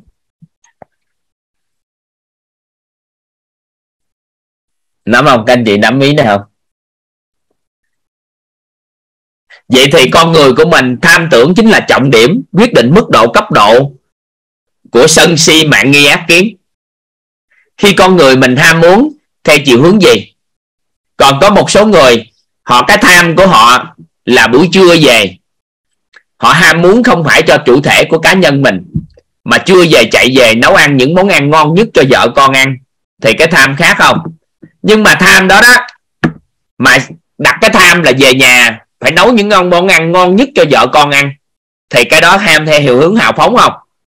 Theo các anh chị, là làm sao tham thực nhưng mà theo chiều hướng hào phóng. Có phải không? Sau đó về, cái bắt đầu tham mà tưởng vợ mình con mình sẽ ăn những cái món ăn rất ngon đây.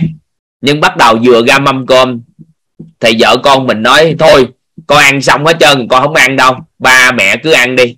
Vợ thì nói, lúc nãy em ăn rồi. Thôi anh tự anh ăn hết đi. Thì theo các anh chị, lúc đó sân nó theo chiều hướng nào?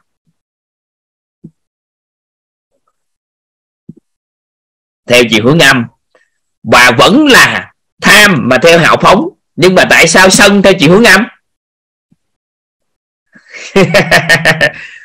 Tại sao xa tham vẫn theo hướng hào phóng, nhưng mà lại sân theo chiều hướng âm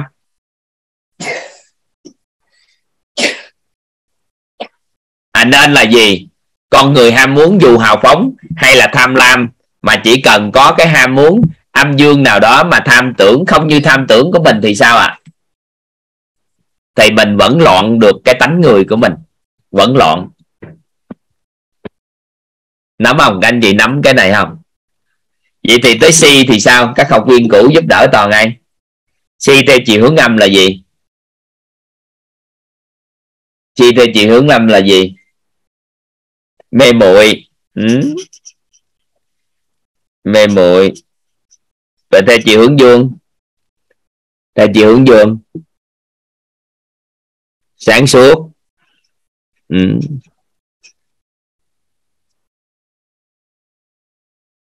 rồi mạng theo chiều hướng âm. Mạng theo chiều hướng âm. Là tự ti về chiều hướng dương là tự cao. Có một số anh chị thấy từ tự cao, tưởng đâu là nó tiêu cực. Không có đâu.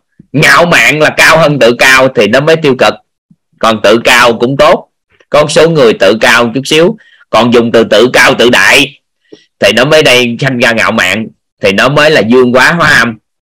Còn tự cao cũng là một trong những cái cái chiều dương của cái tánh mạng. Tánh nghi tánh nghi là gì? Hoài nghi. Các anh chị giờ học giỏi quá. Cuộc đời này hạnh phúc được chưa không có cần nói nhiều nữa. Học quyền chia sẻ hết rồi. Rồi tới cái này. Tới cái đứa cực dương. Tin cậy, tin tưởng là chiều hướng cân bằng rồi. Cái này tới tin cậy. Ừ. rồi ác thì sao? Từ đâu? Từ tàn ác đi đến lương thiện. Một trong những cái này, nếu ai dính mắc vào cái từ ác là ác ôn, thì thì đúng rồi. Nhưng mà từ ác này, theo chiều hướng tánh ác, thì nó sẽ biên độ dao động từ tàn ác đến lương thiện. Còn á, mà ác thì phải là tàn ác rồi còn tánh ác là các anh chị biết dính vô cái từ tánh thì nó sẽ có biên độ dao động. Anh chị hiểu ý này không? Nó có thay đổi âm dương. Đó. Tin cậy khác với tin tưởng chứ. Tin cậy nó mới là mới vừa tin tưởng, nó mới vừa nhẹ tay tin cậy là tin tưởng toàn diện hơn nữa hơn cái tin cà tưởng lên tới tin cậy. Rồi tánh kiến. Tánh kiến thì sao? Kiến là cố chấp đúng không ạ? À? cố chấp. Thì chấp nhận thôi. Cố chấp nó chấp nhận. Thì biên độ dao động của tánh người, nó sẽ dao động như thế này. Lệ thuộc vào tham tản tham tưởng của con người mà nó sẽ đẩy cái tánh của con người theo chiều hướng âm hay dương. Thì biên độ dao động của con người của chúng ta, tánh người á, nó sẽ quyết định cái gì? Nó quyết định nó quyết định cái gì đây? À, chúng ta sẽ chuẩn bị học qua một học khái niệm mới.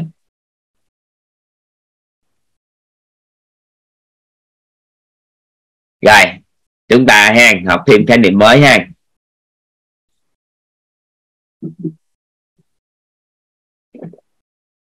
Các anh chị nắm tới đây không? Nắm nắm được tới đây không?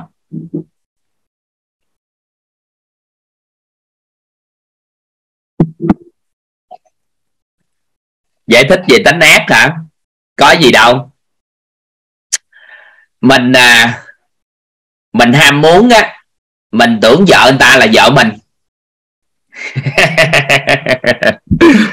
Tưởng ta là tưởng vợ người ta là vợ mình. Thì tánh ác nó theo chiều hướng âm nó trỗi dậy không?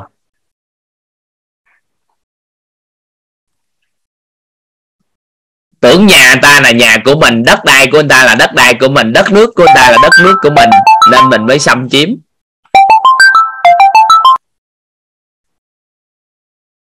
Được không? Thì vậy thôi. Còn tin cậy á, các anh chị tin cậy với tin tưởng các anh chị hỏi hoài chi vậy? Các anh chị lên trên mạng các anh chị vô từ điển tiếng việt á các anh chị đánh cái từ tin tưởng với tin cậy, các anh ta giải thích ra, hiểu đi, chứ hỏi hoài chị mệt đi hai từ nó khác nhau như vậy mà hỏi hoài.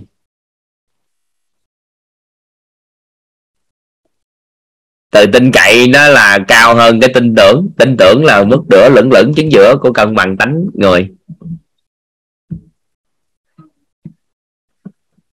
Thì mình lên từ điển tiếng việt mình tìm.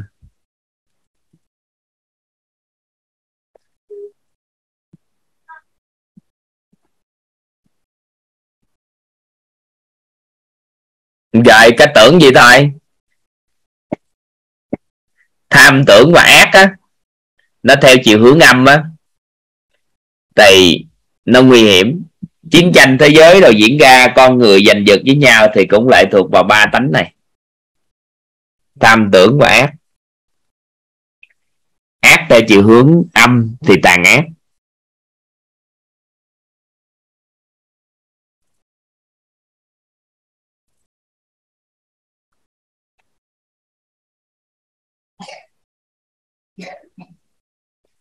Các anh chị đừng hỏi à, làm sao để được từ âm sang dương cân bằng.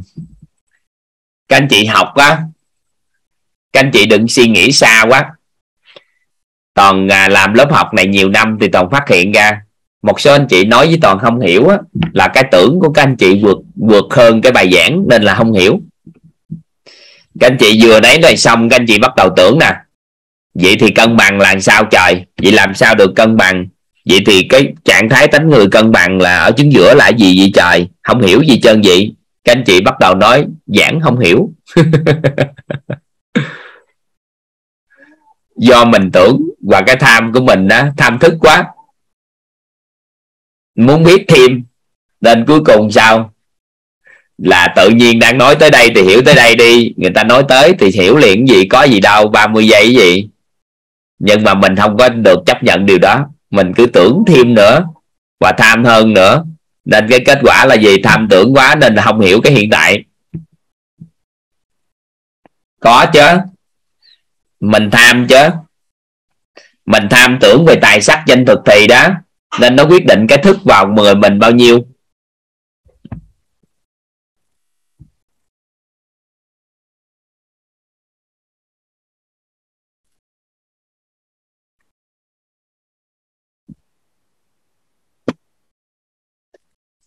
Thầy ơi, thế nào, thế làm sao để buông bỏ? Không ủng hộ các anh chị buông bỏ. Tại vì thế giới này không có người buông bỏ được. Chỉ có buông thôi, chứ không bỏ được. Mình xách cái vali, hành lý, mình đi du lịch. Nặng quá, mình buông xuống. Sau đó hết nặng, hết khỏe, mình ginh lên.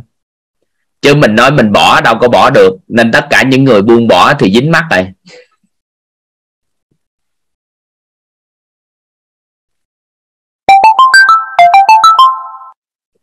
Cái gì xấu không xấu, không có quan tâm, nhưng tâm lý nội tâm của con người buông bỏ là buông bỏ không được. Ví dụ như các anh chị hút thuốc, xem là việc hút thuốc có hại cho sức khỏe. Các anh chị buông không hút một ngày. Các anh chị bỏ không được. Bỏ hút thuốc không được. Buông hút thuốc một ngày được, thôi hút thuốc một ngày được, dừng hút thuốc một ngày được. Chưa buông, họ bỏ không được.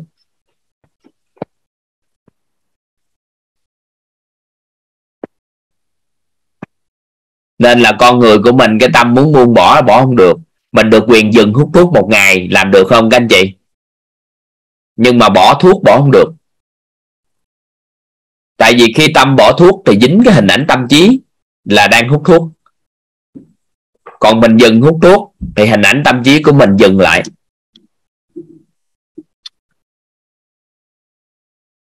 Rồi ha các anh chị ha hiểu tới đây ha vậy thì cấu trúc của con người.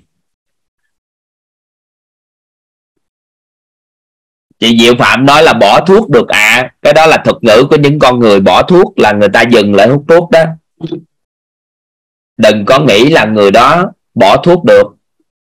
Tại vì bỏ sao à? Bỏ thì trong đầu lúc nào cũng dính mắc hình ảnh tâm trí thuốc. Còn mình dùng cái thuật ngữ bỏ. Nhưng mà mình đang sao à? Mình đang dừng mình đang dừng hút thuốc lại. Còn nếu bỏ là hình ảnh tâm trí dính hình nên bữa nào hút lại hết. Ừ. mới có hai năm mà mà bỏ thuốc cái gì. Dừng không hút hai năm thôi. Vậy thì nó không bị áp lực trong nội tâm. Còn cái ngôn ngữ dùng bên ngoài cái gì nhưng nội tâm bên trong nó mới quyết định. Rồi chúng ta tương đối hiểu được những cái thuật ngữ này ha. Các anh chị hiểu giúp toàn các khái niệm này nữa. Các anh chị ghi vô giúp toàn.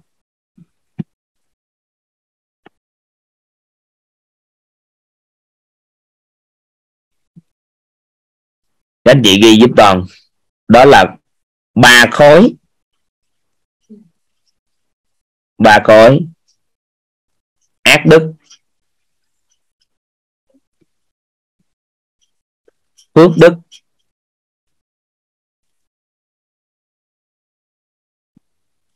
Công đức.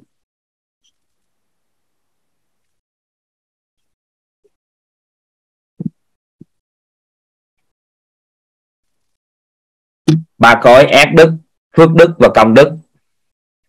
Có nghĩa là trong con người của chúng ta chứa đựng cái điện từ.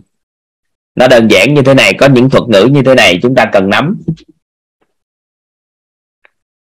Nó có tên gọi là trước khi học về thuật ngữ này, nó tên gọi là gì? Tần số rung động năng lượng. Cho anh chị ghi giúp toàn. Tần số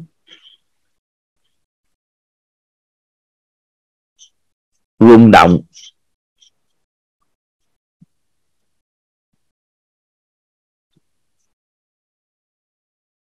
Năng lượng.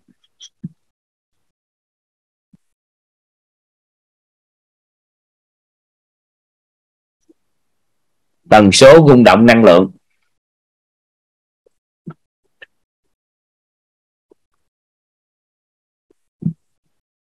Các nhà nghiên cứu xã hội nghiên cứu về về cái à, khoa học. Người ta phát hiện ra, đó là mỗi con người, họ sẽ phát ra một cái tần số rung động năng lượng khác nhau.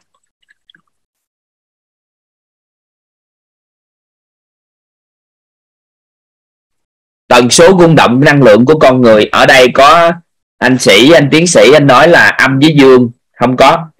Tần số rung động năng lượng thì người ta định là cao.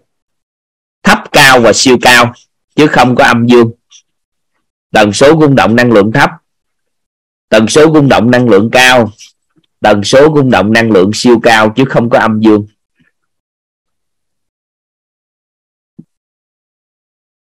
Tần số rung động năng lượng nó sẽ quyết định một con người có tần số rung động năng lượng gì. Nó sẽ quyết định cái trải nghiệm nhân sinh của người đó. Trải nghiệm nhân sinh quan của người đó.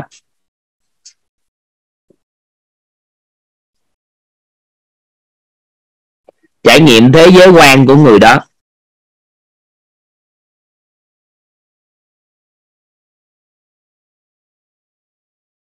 Trải nghiệm vũ trụ quan của người đó.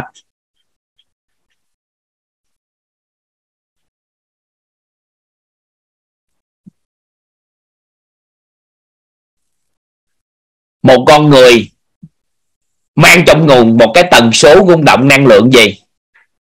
Nó sẽ quyết định người ta nhìn thấy con người ra sao, thế giới ra sao và vũ trụ thế nào thì để hiểu được cái đạo lý này, cái này, thì chúng ta cần phải hiểu thêm một vài cái khái niệm quan trọng. Chút xíu chúng ta sẽ học. Nhưng nó có những thuật ngữ mà các anh chị cần nắm. Đó là tần số rung động năng lượng của một con người. Thì nó quyết định nhân sinh quan, thế giới quan, vũ trụ quan của họ. Nhưng mà điều gì quyết định tần số rung động năng lượng của một người? Đó là trạng thái rung động điện từ của nội tâm. Nó quyết định cái tần số rung động năng lượng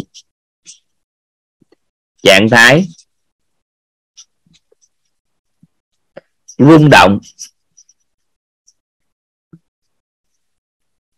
Trạng thái rung động. Điện từ. Của nội tâm. Vậy thì trạng thái rung động điện từ của nội tâm, nó có ba cái trạng thái. Trạng thái thứ nhất là trạng thái rung động nội tường điện từ của nội tâm theo chiều hướng âm trạng thái rung động điện từ nội tâm theo chiều hướng dương.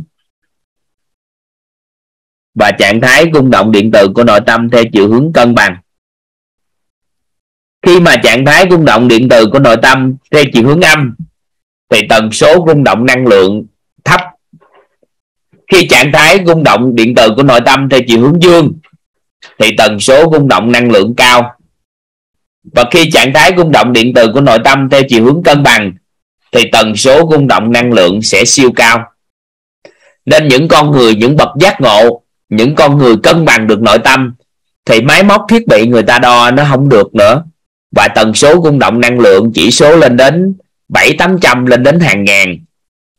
Và tần số rung động năng lượng của những người thấp á, là trạng thái rung động điện từ của nội tâm đó là họ sinh ra cái tâm quán trách đau khổ vân vân trong nội tâm thì tần số rung động năng lượng của người ta phát ra thấp. Thì có những cái cuốn sách viết về cái năng lượng các anh chị tìm kiếm. À, ai biết tên sách đánh lên cho mọi người à, tìm hiểu về cái tần số rung động năng lượng là nó quyết định cái cuộc đời của một người như thế nào. Thì mình à, mình đánh lên cho mọi người có thể đọc nếu muốn đọc. Dạ. À, vậy thì khi tần số rung động năng lượng thấp, cao và siêu cao, nó ảnh hưởng trực tiếp đến nhân sinh quan, thế giới quan, vũ trụ quan của một người. Và trạng thái rung động điện từ của nội tâm, nó sẽ ảnh hưởng trực tiếp đến tần số rung động năng lượng này. Vậy thì để hiểu được cái điều này, chúng ta cần hiểu một số thuật ngữ sau. Cần hiểu một số thuật ngữ sau, các anh chị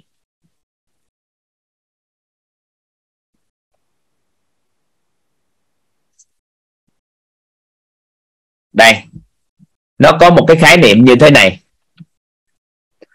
Thứ nhất là cái cuốn, cái nó tên gọi là khái niệm vật chất. Khái niệm là không gian.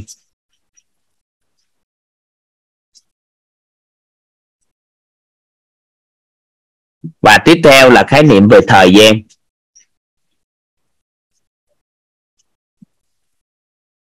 Vật chất, không gian và thời gian. Thì người ta hiểu coi như thế nào là vật chất. Thì các anh chị xem cái này. Các anh chị cứ hình dung có một cái bàn. Chúng ta để một cái vật lên đây. Để vật trên bàn này.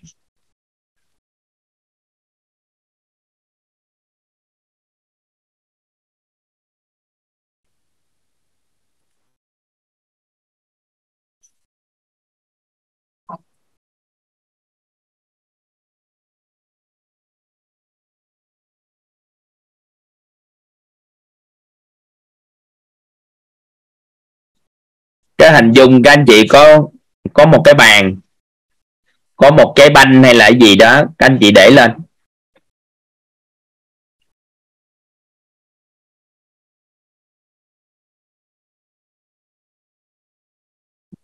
Các anh chị hình dung. Thì toàn đặt tên cái này, đặt cái này, nó được gọi là vật quan sát. Vật quan sát và cái này, chúng ta hình dung cái này có con mắt nhìn vô đây. Thì chúng ta nhìn đó là người quan sát, hay còn đó là đối tượng quan sát? Người quan sát. Người quan sát.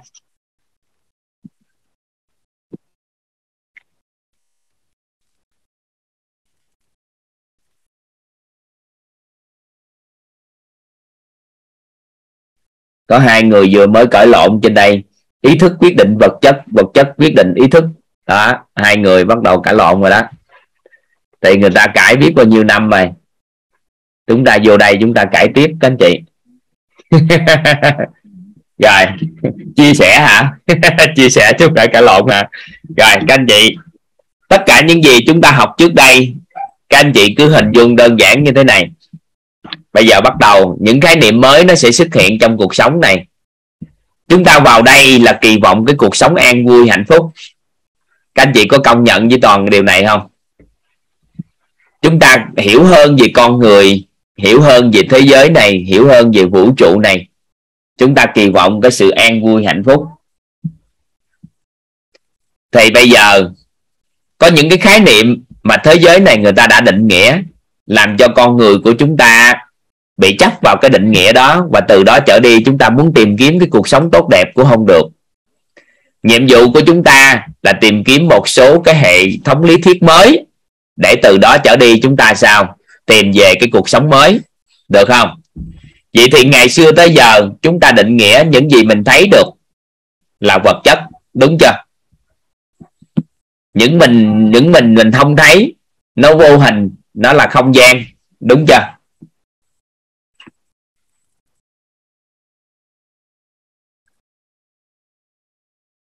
Các anh chị, những gì chúng ta thấy được, cân đo đong đếm được, thì chúng ta định nghĩa nó là vật chất.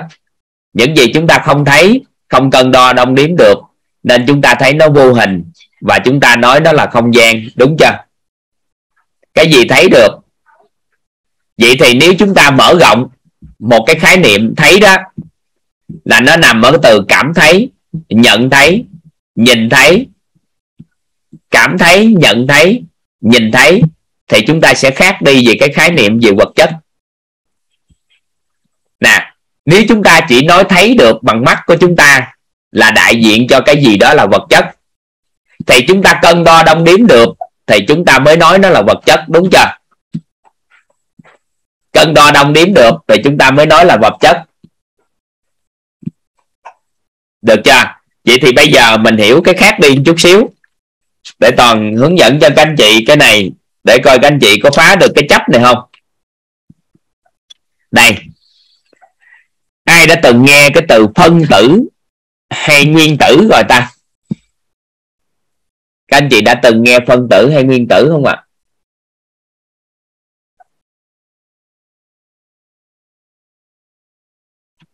Nghe phân tử, nguyên tử. Nhỏ hơn các phân tử hay nhỏ hơn các nguyên tử là gì các anh chị? Nhỏ hơn các phân tử nguyên tử là các hạt, đúng không? Các hạt cơ bản. Vậy thì các anh chị hình dung như thế này. Các hạt, đúng không? Vậy thì người ta quan sát vì sự di chuyển của các hạt mà người ta quyết định, người ta xem xét nó làm sao. Thì người ta thấy có một số hạt di chuyển rất chậm. Di chuyển rất chậm nha. Di chuyển chậm. Hạt nó di chuyển chậm giống như tay của toàn nè. Di chuyển nè. Các anh chị thấy nó chậm không? Thì các anh chị nhìn thấy không ạ? À? các anh chị nè, toàn di chuyển cái tay nè. Chậm thì sao? Các anh chị thấy. Nhưng mà di chuyển bắt đầu nhanh hơn. Nhanh hơn. Ví dụ như toàn di chuyển nhanh hơn nè các anh chị bắt đầu thấy bóng mờ không? Các anh chị thấy bóng mờ của nó không? Nó không còn hình cố định không? Mờ. Nó mờ đi. Rồi nhi, toàn di chuyển siêu nhanh thì sao? Siêu nhanh thì sao? Nếu di chuyển siêu nhanh thì sao? Thì từ từ vô hình không? Vô hình. Vậy thì vật di chuyển chậm thì mình nhìn thấy được vật di chuyển nhanh là bóng mờ còn siêu nhanh thì có phải nó tạo nên các hạt không? Các dạng sóng không? Siêu nhanh thì nó tạo ra sóng. Vậy thì các anh chị hình dung à, khi chúng ta chạy ô tô nè nếu chúng ta đứng ở một chỗ đứng ở một chỗ các anh chị đứng trên một cái cầu rất cao và các anh chị quan sát á, là mấy xe ô tô chạy qua cào cao tốc nha. Các anh chị quan sát, ô tô chạy qua. Thì các ô tô chạy qua, các anh chị nhìn thấy, nếu chúng ta đứng lại một chỗ, chúng ta quan sát, thì các anh chị thấy các ô tô chạy rất nhanh không? Các anh chị đứng chỗ quan sát á, các ô tô chạy qua chúng ta, nó nhanh không? Nhanh. Nhưng chúng ta ngồi trên ô tô, chạy cùng tốc độ với chiếc xe đó, thì các anh chị thấy nó cũng nhìn thấy nó không? Chậm không? Chậm. Tại vì cùng tốc độ với nó. Được không? À vậy thì người ta quan sát, người ta thấy tốc độ á, những cái hạt nó di chuyển chậm, thì nó di chuyển với cái tần số rung động chậm. Thì người ta định nghĩa là những cái hạt nó di chuyển với tần số rung động năng lượng chậm thấp. Thì người nào, người quan sát á và vật quan sát, tương đồng với nhau về tần số rung động năng lượng. Thì trong mắt của người quan sát với vật quan sát nó là vật chất. Còn nếu một cái vật nào đó quan sát và người quan sát nó khác với nhau về tần số rung động năng lượng, thì sao ạ? À? thì người quan sát thấy nó là không gian. Giống như ở đây ở đây toàn có một cái còn có một cái ấm nước. Thì, cấu trúc của ấm nước này tương đồng với cái cấu trúc cơ thể của toàn, bởi vì nó tạo từ đất. Và có tần số rung động năng lượng tương đương nên toàn nhìn thấy được. Ở ngoài của cái cái cái cái bao này, nó tên là các hạt, nó tạo từ điện từ. Nên nó tạo từ các sóng nên toàn thấy nó là không gian nên tần số rung động năng lượng của này tương đồng với mắt của toàn và mắt các anh chị, nên các anh chị thấy nó là vật chất. Nó khác tần số rung động năng lượng, nên chúng ta cảm nhận nó là không gian bởi vì nó vô hình trong mắt của chúng ta. Giống như âm thanh, có những âm thanh trong ngưỡng tai chúng ta chúng ta nghe được. Nhưng mà các anh chị có cảm giác được, có biết được là cùng song song. Nó vẫn tồn tại, sống siêu âm và tồn tại hạ âm không? Vậy thì âm thanh siêu âm nó cũng đang diễn ra nó cũng đang phát ra. Cũng hạ âm cũng đang phát ra tại sao chúng ta không nghe được? Là bởi vì sao? Là bởi vì nó không tương đồng. Cái ngưỡng tương đồng đó, nên không có nghe được. Vậy thì tương tự như vậy cái gì tương đồng với tần số rung động năng lượng với mình thì mình nhìn thấy nó là vật chất. Nhưng nó khác về tần số rung động năng lượng. Nó khác ngưỡng thì chúng ta thấy nó là không gian. Nên bản chất vật chất á, nếu được định nghĩa, thì có một số người người ta, các chuyên gia đã định nghĩa bản chất vật chất không có thật. Mà nó lệ thuộc vào gì ạ? À? tần số rung động năng lượng của người quan sát và vật quan sát quyết định cái đó là vật chất hay là không gian thôi. Các anh chị nắm được tới đây không? Vậy thì sóng điện thoại, sóng wifi hiện tại, các anh chị thấy, các anh chị không thấy được nó, nhưng nó có tồn tại không các anh chị? Theo các anh chị thì sóng điện thoại, sóng wifi nó có tồn tại không? Có. Mình dùng cái thiết bị mình để đón nhận nó, mình hiểu được nó, ghi nhận nó thì biết nó tồn tại đó. Nhưng tại sao chúng ta không thấy? Tại sao chúng ta không thấy? Tại sao chúng ta không thấy? Không cùng với tần số rung động năng lượng. Khác tần số rung động nên chúng ta không thấy. Được chưa? Vậy thì nếu chúng ta chấp vào những gì chúng ta thấy, nó mới gọi là vật chất, thì cuộc sống của chúng ta sẽ mãi mãi xa rời sự an vui. Tại vì theo các anh chị, an vui là vật chất hay là phi vật chất à? Phi vật chất và có thấy được không? Không thấy được, nhưng mà cảm nhận được không? Cảm nhận được không các anh chị? Cảm nhận được. Vậy thì, nếu chúng ta xem an vui, hạnh phúc, bao dung, trân trọng biết ơn nếu chúng ta đưa trạng thái, đưa tần số rung động năng lượng của chúng ta tương đồng với cái đó, thì chúng ta có cảm thấy được nó không các anh chị? Cảm giác được sự tồn tại của nó không? Tồn tại. Vậy thì một con người mãi mãi sẽ xa rời hạnh phúc nếu họ không có tần số rung động năng lượng tương đương với nó. Hiểu ý này không? Một con người sẽ xa rời vĩnh cửu an vui nếu họ không có tần số rung động năng lượng tương đương với nó. Một con người sẽ xa rời vĩnh cửu.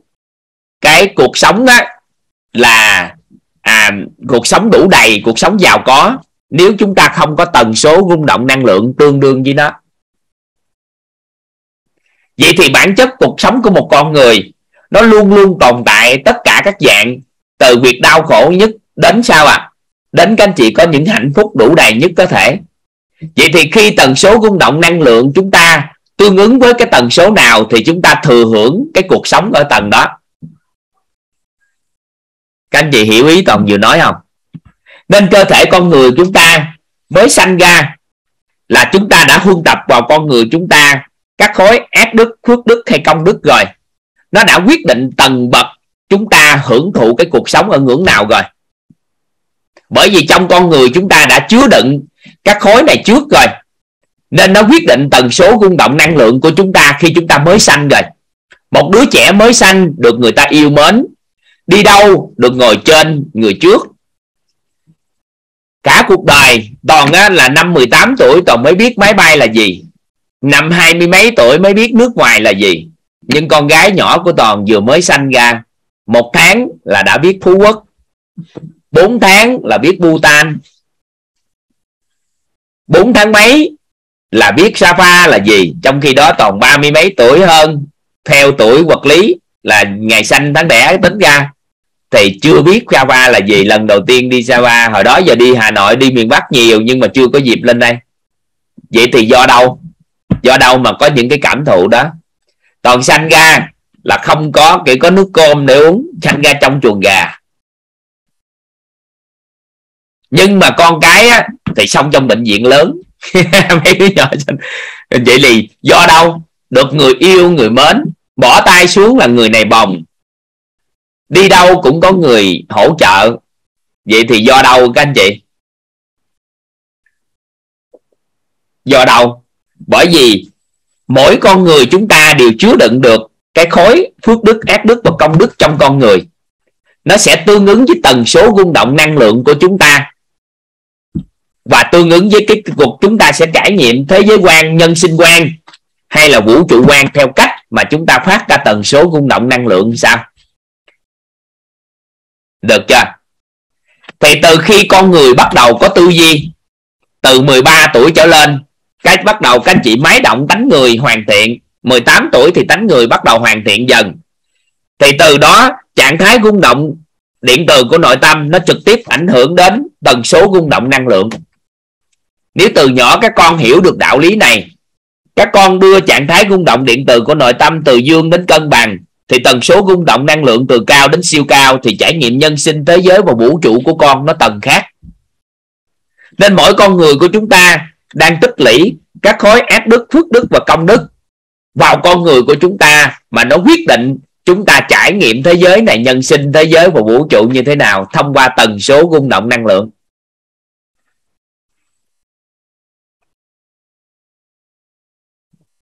Các anh chị nắm được cái ý toàn vừa nói cái cái cái ý nghĩa của cái thuật ngữ này không?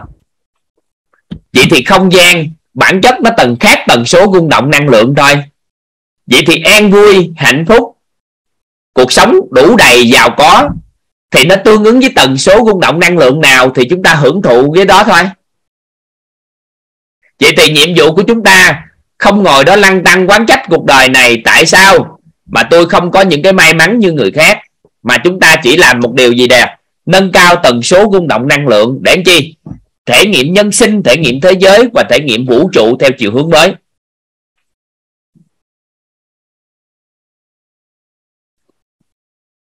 Tần số thì nó khác với trạng thái chứ. Nội tâm của con người thì có trạng thái âm dương, tần số thì có tần số cao thấp. Vậy thì con người của mình phát ra tần số rung động năng lượng trực tiếp là do trạng thái rung động điện từ của nội tâm quyết định tần số rung động năng lượng. Thì chúng ta sẽ được giải thích thêm. Các anh chị hiểu tới đây đi. Các anh chị khoan hỏi sau nữa.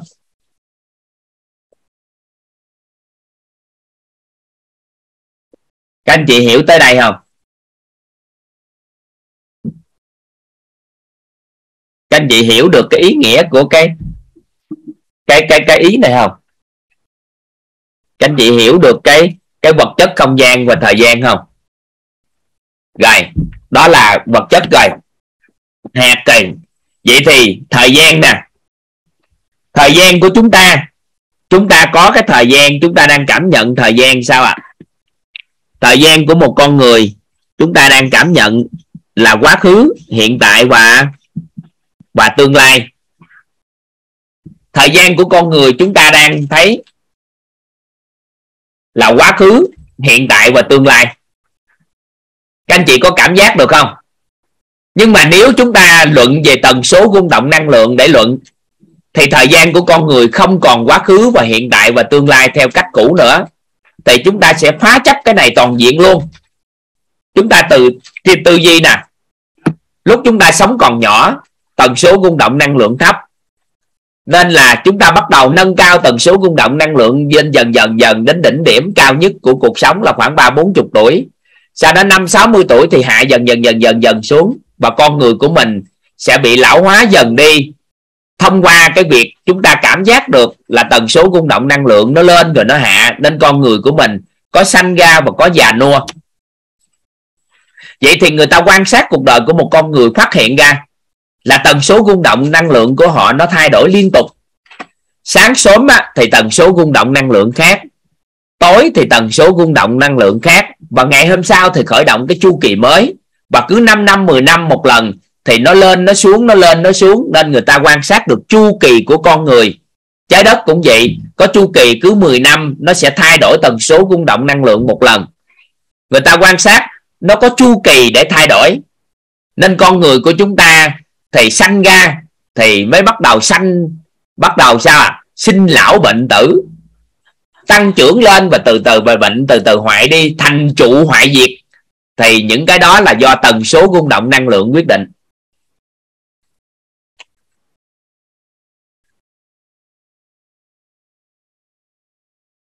Được khen vậy thì bây giờ mình phá chấp đi. Mình định nghĩa mình xem à, các chuyên gia định nghĩa về thời gian như thế nào. Họ nói đơn giản lắm. Thời gian là các trải nghiệm, các các điểm khác nhau trong không gian với tần số rung động năng lượng khác nhau trong không gian thôi. Nếu chúng ta giữ được tần số rung động năng lượng cố định hoặc là dao động một cái ngưỡng nào đó trong cái ngưỡng phù hợp, thì thời gian nó có thể đứng lại. Thời gian của quá khứ, hiện tại và tương lai là nó không có thật, mà là gì? Chúng ta đổi cách nghĩ đi. Nó chỉ là tần số rung động năng lượng thôi. Còn hỏi các anh chị, nếu bây giờ chúng ta có tần số rung động năng lượng như ở tuổi 20 về sức khỏe còn đang định nghĩa nói chung là những người ở tuổi 20 rất là khỏe mạnh, chứ không phải lấy tần số rung động năng lượng của các anh chị ở tuổi 20 mà các anh chị bệnh tật nha. Nếu chúng ta giữ được cái tần số rung động năng lượng đó thì các anh chị nghĩ sức khỏe chúng ta sẽ đổi về đúng cái đó không? Theo các anh chị.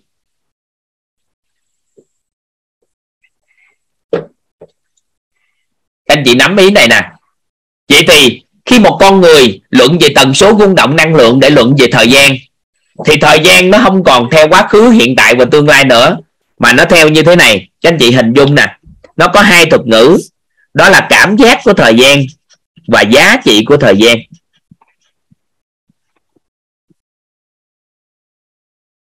Cảm giác thời gian, ý nghĩa nói sao? Khi con người có một cái tần số rung động năng lượng thấp hoặc là siêu thấp, thì cảm giác thời gian của họ một ngày có thể bằng một vạn năm. Ví dụ, ai đã rơi vào trạng thái thất tình rồi? Ai đã rơi vào trạng thái thất tình rồi? Trạng thái quán trách đau khổ rồi? Ai đã từng không? Các anh chị cảm giác một ngày một đêm nó bao nhiêu lâu à? Một đêm nó bao nhiêu lâu các anh chị? Dài. Nó, nó không thể hình dung. Có những người biến cố cuộc sống xảy đến với họ một đêm xảy ra họ tóc bạc nửa đầu. Các anh chị đã từng nghe thấy không? Từng nghe cái trường hợp đó xảy ra không?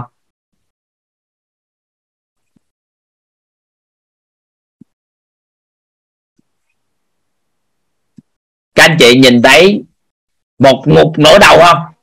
Vậy thì do lúc đó tần số rung động năng lượng của nó làm sao à quá thấp. Nên cái thời gian nó được kéo dài ra. Và bằng cái thời gian cả khoảng mấy năm 10 năm 20 năm, nên con người lão hóa trong một tích tắc. Được chưa? Nếu bây giờ toàn nói với các anh chị trong một đêm chúng ta có thể trẻ hóa được 5 10 năm thì các anh chị có tin không? Nếu ai đó thay đổi được tần số rung động năng lượng cao hoặc siêu cao lên, thì sao à tự khắc, cơ thể của người đó sẽ có một sự trẻ hóa rất lớn lại. Bởi vì nó tương đồng với tần số rung động năng lượng đó, thì tế bào nó sẽ làm việc theo cái hướng đó. Nên có một số anh chị học quýt càng học càng xinh đẹp càng học càng trẻ, càng học càng khỏe là bởi vì các anh chị đã thay đổi được cái gì ạ? À? tần số rung động năng lượng. Mà để thay đổi được tần số rung động năng lượng, bởi vì chúng ta thay đổi được trạng thái rung động điện từ của nội tâm. Và do các anh chị đã thay đổi được nhận thức của nội tâm, nên nó ảnh hưởng trực tiếp đến trạng thái rung động điện từ của nội tâm và ảnh hưởng trực tiếp đến tần số rung động năng lượng và ảnh hưởng đến cái cái cái thế giới quan, nhân sinh quan và vũ trụ quan của chúng ta vậy thì chúng ta cảm giác thời gian nó sẽ rất là dài. Nhưng mà một người với tần số rung động năng lượng thì cao, thì cảm giác thời gian sao? Nó rất nhanh.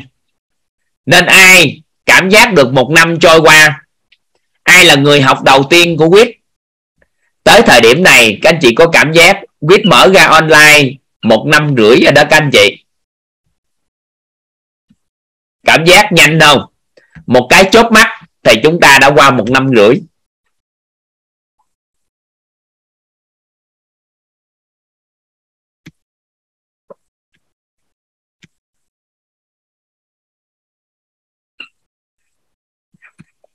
Mới đây mà 18 ca rồi. Trung bình một tháng là một ca,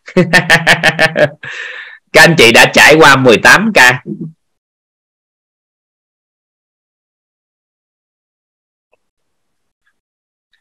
6 buổi trôi qua, nếu các anh chị vào đây 6 buổi trôi qua, các anh chị nhắm mắt, mở mắt, đã 6 buổi rồi đó các anh chị. Và các anh chị có hình dung được là nãy giờ chúng ta ngồi ở đây, từ 6 giờ, bây giờ 9 giờ mấy rồi? 3 tiếng mấy đồng hồ, nhưng mà bằng một cái chớp mắt.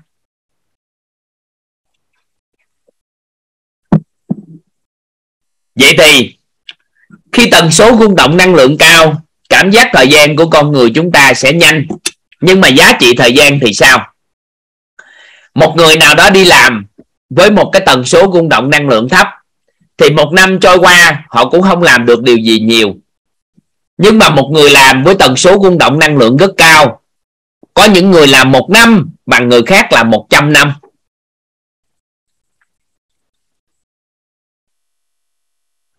Bằng 100 năm cộng lại. Giá trị của thời gian tạo ra rất cao.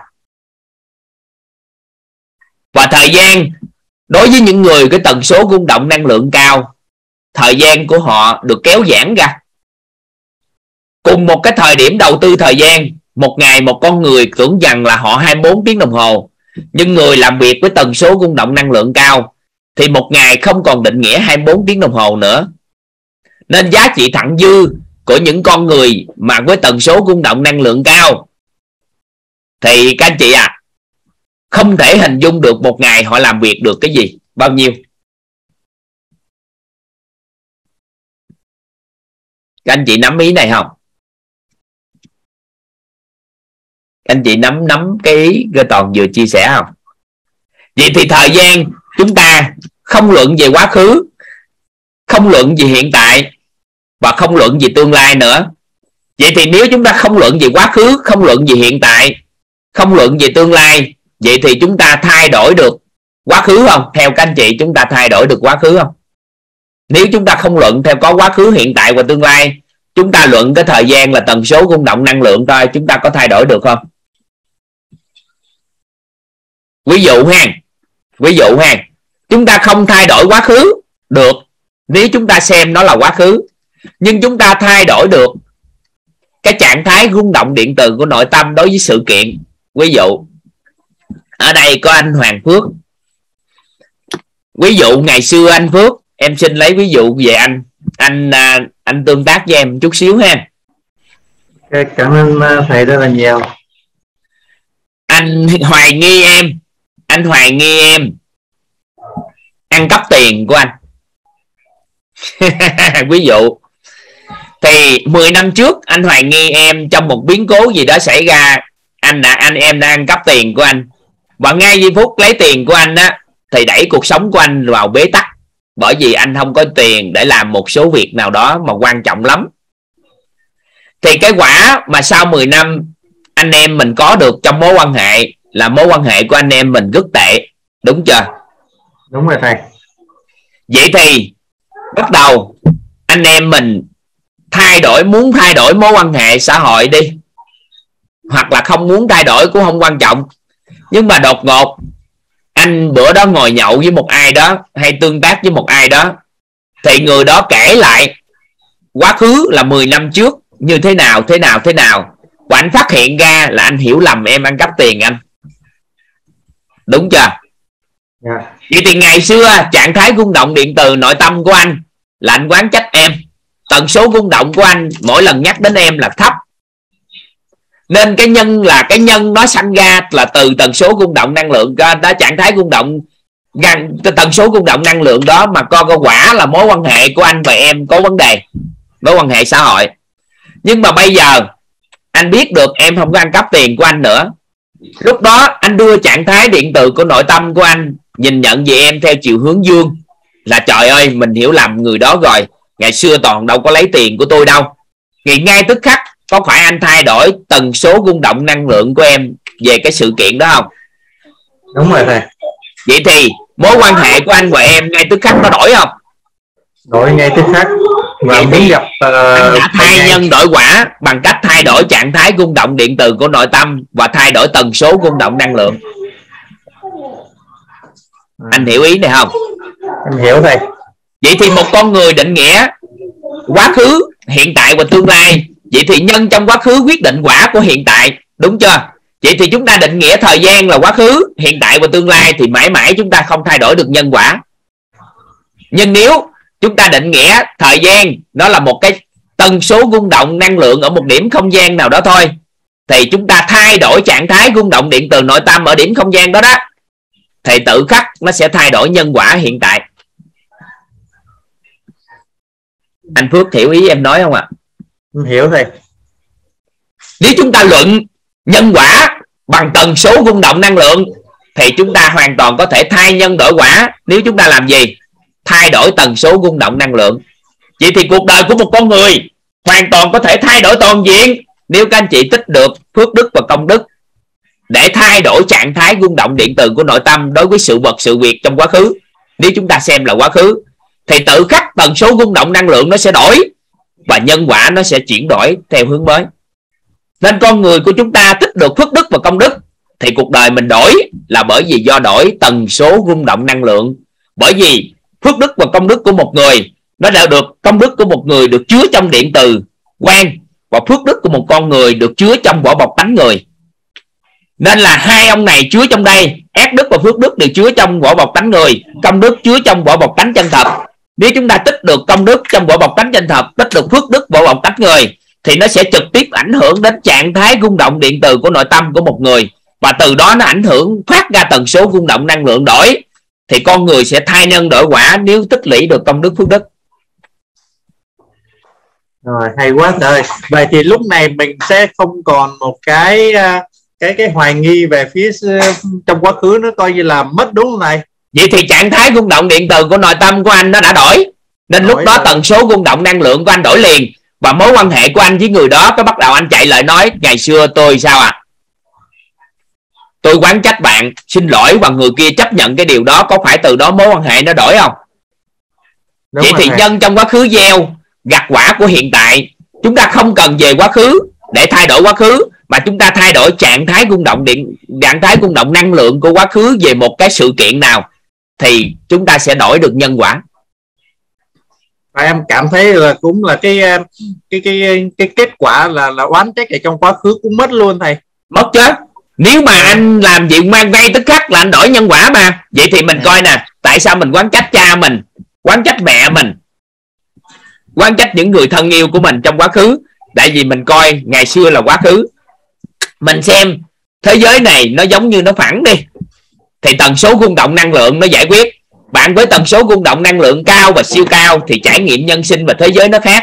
Vậy thì mình tiếp cận với một con người. Mình với tần số rung động năng lượng cao và siêu cao tự khắc nhìn con người đó với tầng vật chất khác. Còn nếu mình trải nghiệm con người, tiếp cận với con người với tần số rung động năng lượng thấp, thì mình trải nghiệm sao à? Vật chất ở tầng khác và thấy con người luôn luôn tệ. Vậy thì trạng thái rung động điện từ của nội tâm nó sẽ ảnh hưởng trực tiếp đến tần số rung động năng lượng. Và khối phước đức, ác đức và công đức thì nó trực tiếp ảnh hưởng đến trạng thái rung động điện từ của nội tâm của chúng ta. Ví dụ, khi phước đức, ác đức và công đức tích lũy, các anh chị, cộng thêm nữa, các anh chị gặp một con người nào đó thì nó có một khái niệm tên gọi là tổng nghiệp. Các anh chị ghi vô giúp toàn. Tổng nghiệp. Tổng nghiệp tổng nghiệp của con người thì có tổng nghiệp thức, tổng nghiệp duyên và tổng nghiệp quả tổng nghiệp thức. Tổng nghiệp duyên và tổng nghiệp quả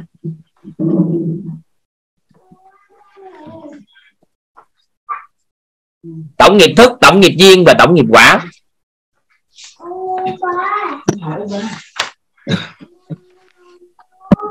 vậy thì, trong quá khứ của hàng hà sa số đời. Nó đã hung rập vào tàn thức của chúng ta hay còn gọi là tiềm thức. Những cái thức duyên quả này, thức là những gì hiểu biết duyên là con người, quả là kết quả cuộc sống mà các anh chị đã có. Thì tự nhiên em gặp anh phước. Cái em với ví dụ nghe anh phước, em ghét anh.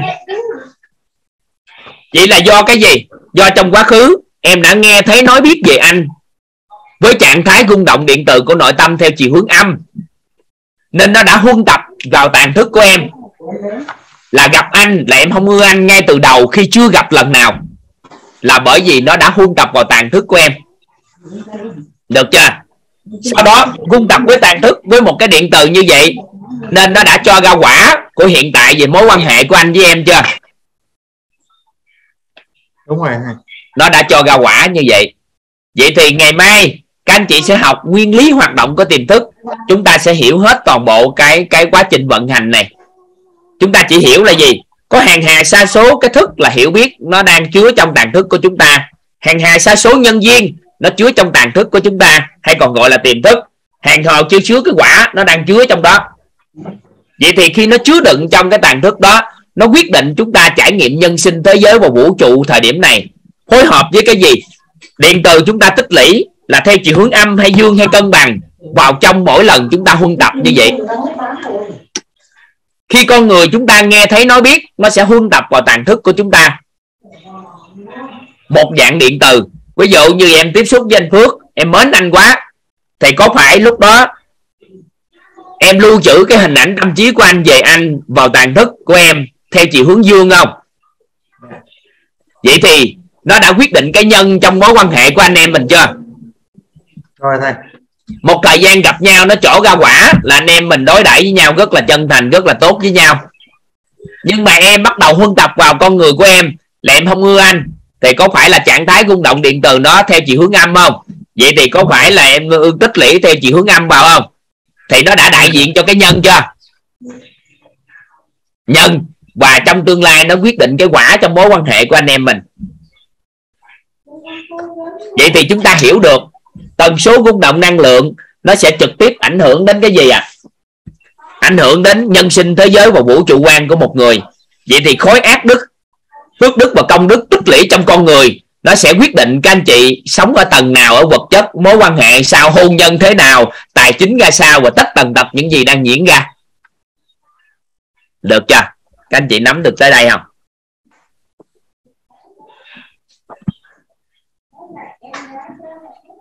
Nắm không? Các anh chị nắm được không? Anh chị nắm được tới đây. Anh phước gõ được ở chỗ này không? Rõ rồi thầy.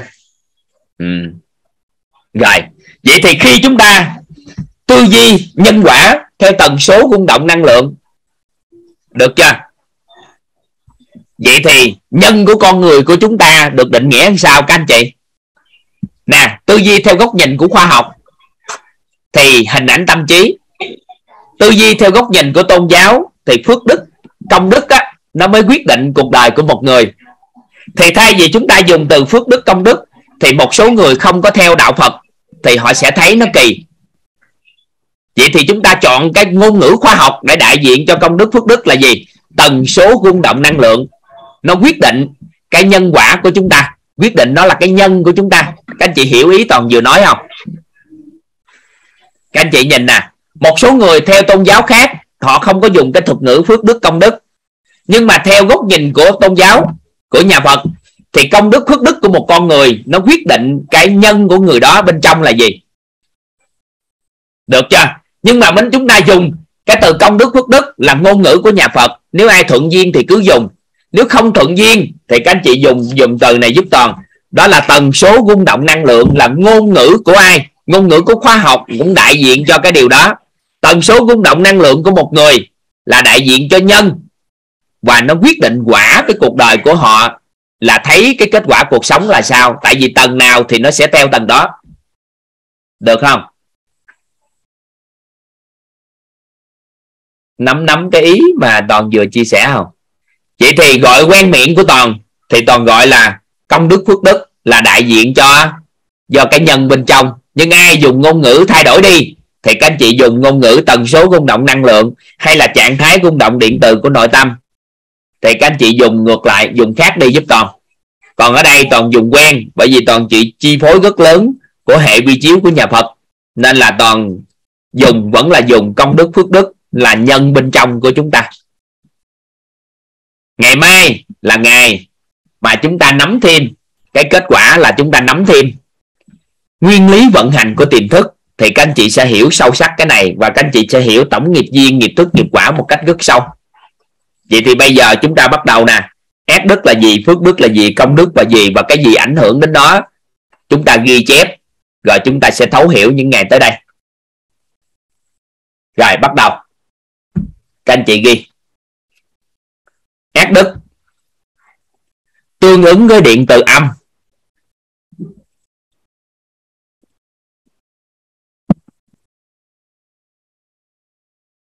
Ác đức tương ứng với điện từ âm.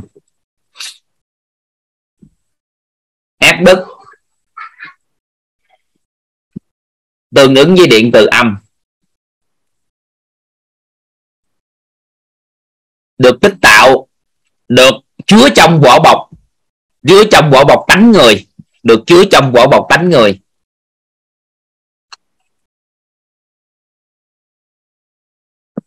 Được chứa trong vỏ bọc tánh người.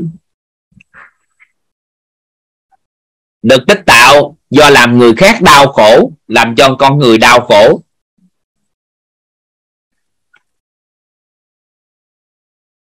Được tích tạo do làm người khác đau khổ.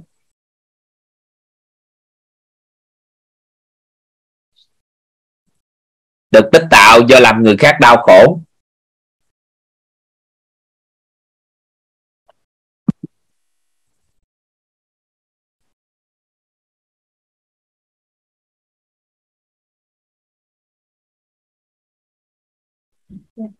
Được tích tạo do làm người khác đau khổ.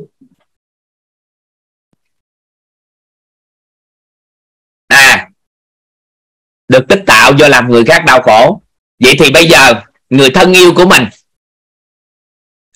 khi chúng con của chúng ta làm điều gì đó sai, chúng ta đau khổ đi, thì theo các anh chị, chúng ta đã gián tiếp tích lũy cái điện từ âm cho con chưa? Theo các anh chị vậy thì phản ứng thái quá với sai lầm của đứa trẻ tại sao sẽ tạo ra những đứa trẻ nói dối? Phản ứng thái quá với sai lầm của con người tại sao á, sai lầm của họ lặp lại? Là bởi vì do càng ngày chúng ta càng phản ứng với những sai lầm của người thì con người đó càng ngày càng tích lũy điện từ âm. Thì điện từ âm tầng bậc nhận thức của họ ở ở ngưỡng đó thì họ tiếp tục hành vi theo hướng đó. Không thay đổi được nên là việc một hành vi của con người, quá nhiều con người quán trách thì làm cho họ mất phước báo. Các anh chị ghi vô. Hành vi của con người, quá nhiều người quán trách thì sẽ làm cho họ mất phước báo.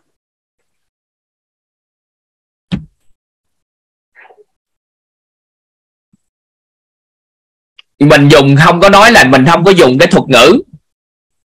Tích ác đức. Nhưng mà mình dùng thuật ngữ là mất phước báo thì mất đi cái dương thì có phải cái âm trỗi dậy không? Theo các anh chị. Quy lực âm dương mà. Nguyên lý âm dương mà. Mất đi cái âm dương thì sao? Cái âm trỗi dậy. Thì chúng ta hiểu như vậy. Những ngày tới chúng ta hiểu sâu hơn. Các anh chị hiểu được tới đây cái coi đi. Vài bữa hiểu sâu hơn. Ngày mai chúng ta sẽ hiểu sâu hơn. Rồi. Phước đức.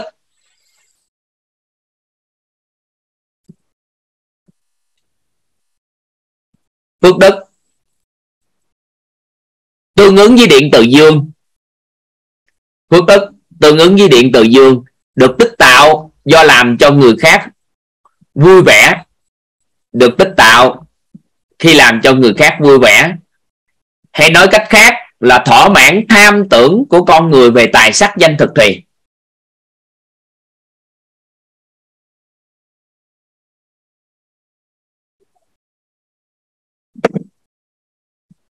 phước đức, tương ứng với điện từ dương. Phước đức, tương ứng với điện từ dương. Phước đức, tương ứng với điện từ dương, được tích tạo do làm người khác. Do giúp cho làm cho người khác vui vẻ. Hay nói cách khác là thỏa mãn được tham tưởng của con người về tài sắc, danh, thực thị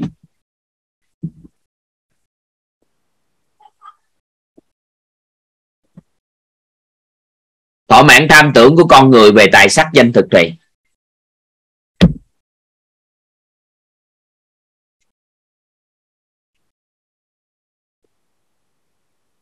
được chưa? Chứa trong vỏ bọc tánh người. Nó vẫn chứa trong vỏ bọc tánh người. Nên cùng chung chứa trong vỏ bọc tánh người á. Nên khi mơ hết phước, thì ác đức nó mới trỗi dậy nên con người còn phước thì làm cái gì cũng thuận lợi. Nhưng mà hết phước thì sao? Thì cái âm nó mới trỗi dậy. Nên là có một số con người hỏi là gì? Tại sao người đó làm điều ác quá? Mà tại sao không nhân quả, không kéo đến với họ? Nhưng mà ta không hình dung, do họ có tích cái phước trước, nên là họ cứ hưởng thụ đi. Qua thời gian hết phước thì sao? Ác nó sẽ trỗi dậy thì lúc đó nó thực thi nhân quả theo cách sao?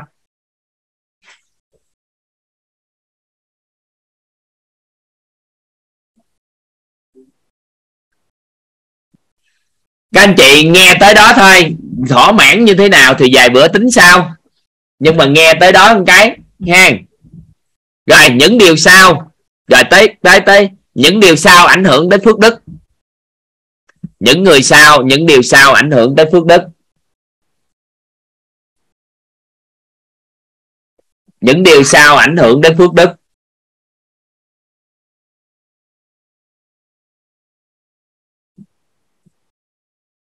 Quán trách ảnh hưởng đến phước đức. Quán trách. Quán trách thì ảnh hưởng đến phước. Thì người phụ nữ các anh chị các anh chị để ý người phụ nữ rất dễ quán trách là do cấu trúc điện từ của người phụ nữ á, thương hướng theo chiều hướng âm. Nên là người phụ nữ dễ quán trách. Nên cuộc đời của người phụ nữ khổ á là bởi vì do dễ quán trách quá nên là dù sống trong điều kiện gì cũng dễ khổ hơn người bình thường dễ khổ hơn người nam là bởi vì dễ sanh ra tâm quán trách. Người phụ nữ dễ mất phước đức do quán trách, hay còn gọi là phước báo, toàn có nhiều lâu lâu lâu toàn có dùng từ phước báo anh các anh chị. Còn người nam giới thì nhanh. Nhanh mất phước báo hay là phước đức do quán trách là bởi vì ông nam là ông có cấu trúc cơ thể, có điện từ dương hơn. Nhưng mà ông lại sinh ra quán trách thì ông quá âm mà thì ông nhanh bị mất phước báo còn người phụ nữ thì dễ. Dễ là gì? Nó thường xuyên xảy ra. Còn nhanh là nó xảy ra xong là cạn kiệt, phước báo liền. Được không? Rồi, ngạo mạn. Ngạo mạn có nghĩa là tự cao tự đại của một con người. Thì ngạo mạn á, thì người phụ nữ, người đàn ông thì dễ mất phước báo do ngạo mạn. Bởi vì cấu trúc điện từ của người nam thì theo chiều hướng dương. Nên người nam dễ ngạo mạn lắm. Làm gì được? Cái hơi hơi là ngạo mạn ta đây còn người nữ thì nhanh mất phước báo do ngạo mạn. Tại vì sao? Bởi vì á, là người phụ nữ cấu trúc điện từ theo chiều hướng âm mà dương quá, thì họ nhanh chóng nó chuyển thành âm luôn. Thì thì họ bị nhanh mất phước báo do ngạo mạn.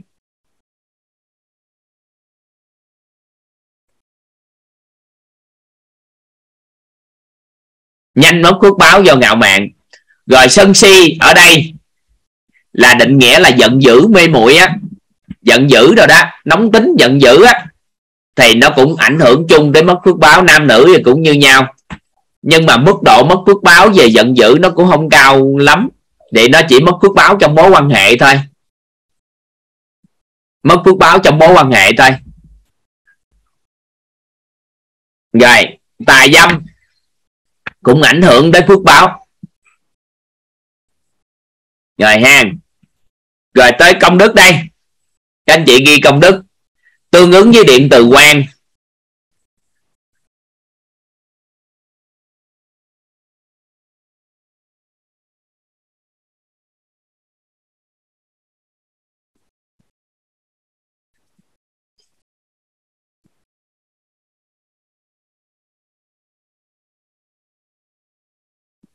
Tương ứng với điện từ quan. Hay còn gọi là điện từ cân bằng tại vì điện từ quang rất cân bằng. Được tích tạo. Được tích tạo. Do giúp người khác nhận được sự chân thật nơi chính mình. Được tích tạo, do giúp người khác nhận được sự chân thật nơi chính mình.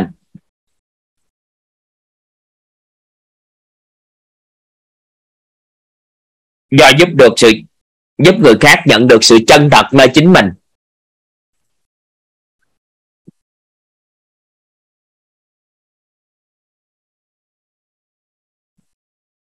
Do giúp người khác nhận được sự chân thật nơi chính mình. Hay nói cách khác là giúp cho con người nâng được nhận thức nội tâm lên tầng bậc 3 hay nói cách khác là giúp cho con người nâng được nhận thức nội tâm lên tầng bậc 3 hay nói cách khác là giúp cho con người nâng nhận thức nội tâm lên tầng bậc 3 nâng nhận thức nội tâm lên tầng bậc 3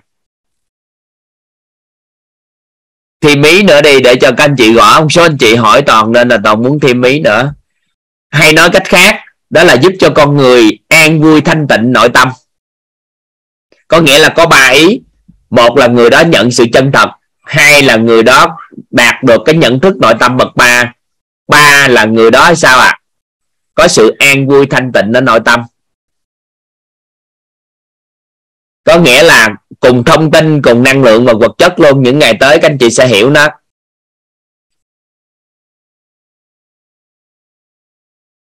Vậy thì người nào tham gia trực tiếp hay gián tiếp, giúp cho con người nhận được sự chân thật, hay giúp cho con người nhận được tánh không của nội tâm, hay giúp cho con người sao à có được cái sự an vui thanh tịnh nội tâm đều thuận duyên có một phần nào đó công đức.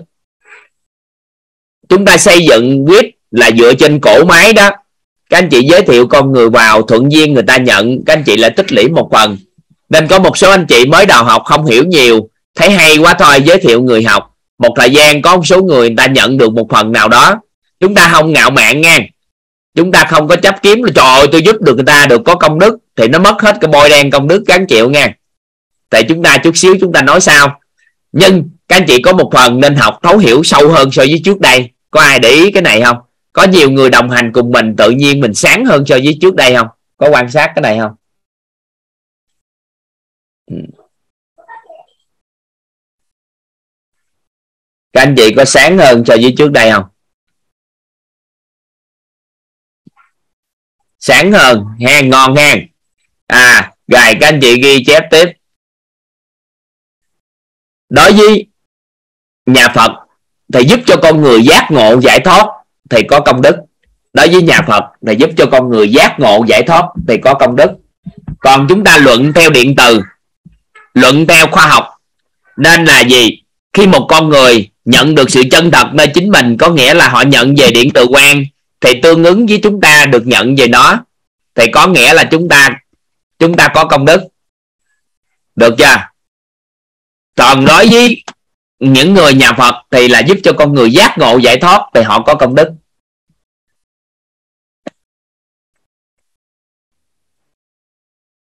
Thì cái đó tính sao? Cái đó, chuyện đó của các anh chị. Còn ở đây chúng ta chỉ giúp giúp đỡ cho các anh chị hiểu được. Khi chúng ta cho người khác nhận về sự chân thật của nơi chính họ, thì tự khắc điện từ quan của chúng ta nó tương ứng, là nó lớn lên. Có nghĩa là bạn bạn giàu thì tôi giàu. Ví dụ như vậy bạn nhận được cái điện từ quan trong cái chân thật của bạn thì hưởng duyên cái trong chân thật của tôi nó lớn lên. Có nghĩa là mình dễ cảm nhận hơn so với trước đây. Thì từ đó trở đi mà hình dung cái công đức. Và khi đó thì đơn giản để khai mở trí tuệ vô sư trí hơn. Thì những ngày tới chúng ta học sao? Rồi các anh chị ghi, phước đức như một núi tiền, một que diêm có thể đốt cháy. Công đức như một núi vàng, khó bị đốt cháy nhưng dễ bị bôi đen.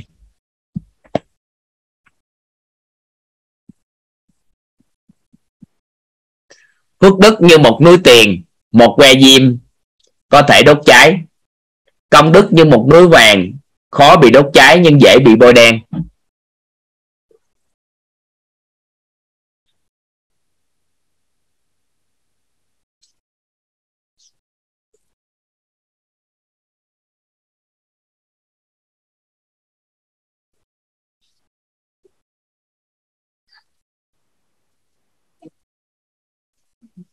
Rồi. Nắm ý ha. Nắm khái niệm thôi, ngày mai chúng ta sẽ học sâu sắc sau. Tối nay các anh chị học nhiều đó rồi tại sao thì ngày mai giải thích sao? Chỉ cần nhớ như vậy thôi. Phước đức là điện từ âm dương. Nên đơn giản, nó mất âm thì nó mất dương thì nó sanh âm nên một que diêm cũng có thể đốt được phước đức. Nên một người nỗ lực làm cái gì đó mấy chục năm, trong một tích tắc quán trách, ngạo mạn thì nó tan hết, phải quay lại từ đầu. Còn công đức là nó liên quan tới điện từ âm dương, nên không có sanh diệt. Nên nó không có, điện từ quang nên không có sanh diệt. Nên không có lên xuống, nên nó bền. Nó bền, nhưng mà bởi vì nếu một người có công đức sáng quá, thì khó thực thi nhân quả của một người. Khó thực thi nhân quả. Nên cuối cùng á là bị bôi đen, dễ bị bôi đen. Để chi? Để đơn để thực thi là nhân quả.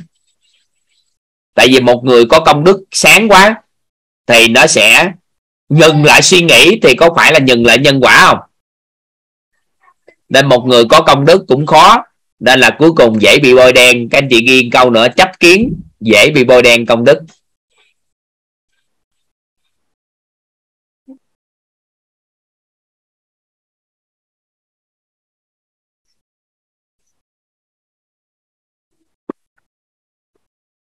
Chấp kiến dễ bị bôi đen công đức.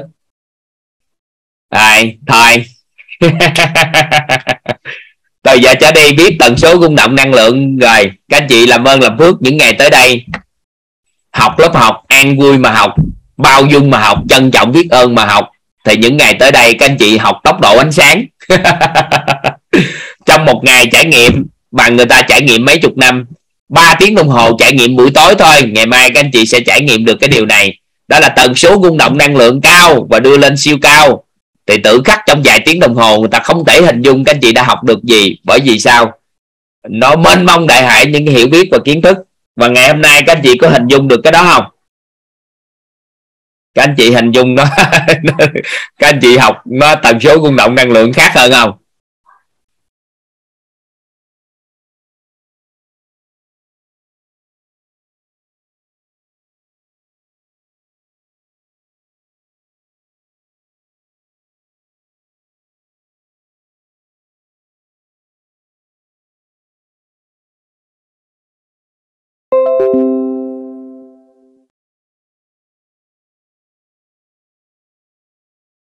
Đi. Tôi chuẩn bị bái bai con người của tôi trong quá khứ.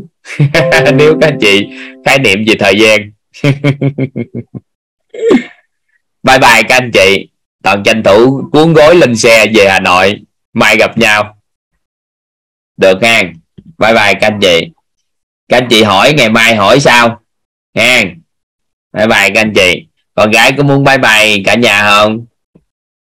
Ai con gái bye bye cả nhà này. Tốt tốt tốt tốt tốt tốt tốt rồi. Con gái bye bye cả nhà không? Yeah. À để bà mở mở à, mở cái mở cái à, cái âm thanh lên cho cả nhà. Bye bye con nãy giờ cũng biết phối hợp đây thầy cảm ơn thầy hai thầy con gái thầy và con gái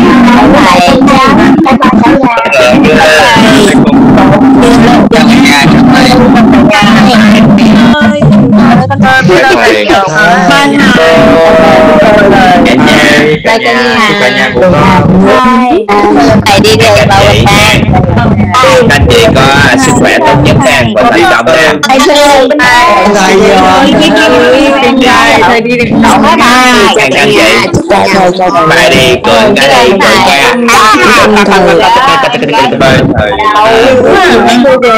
bye bye anh chị Hẹn gặp chị. Hẹn gặp chị.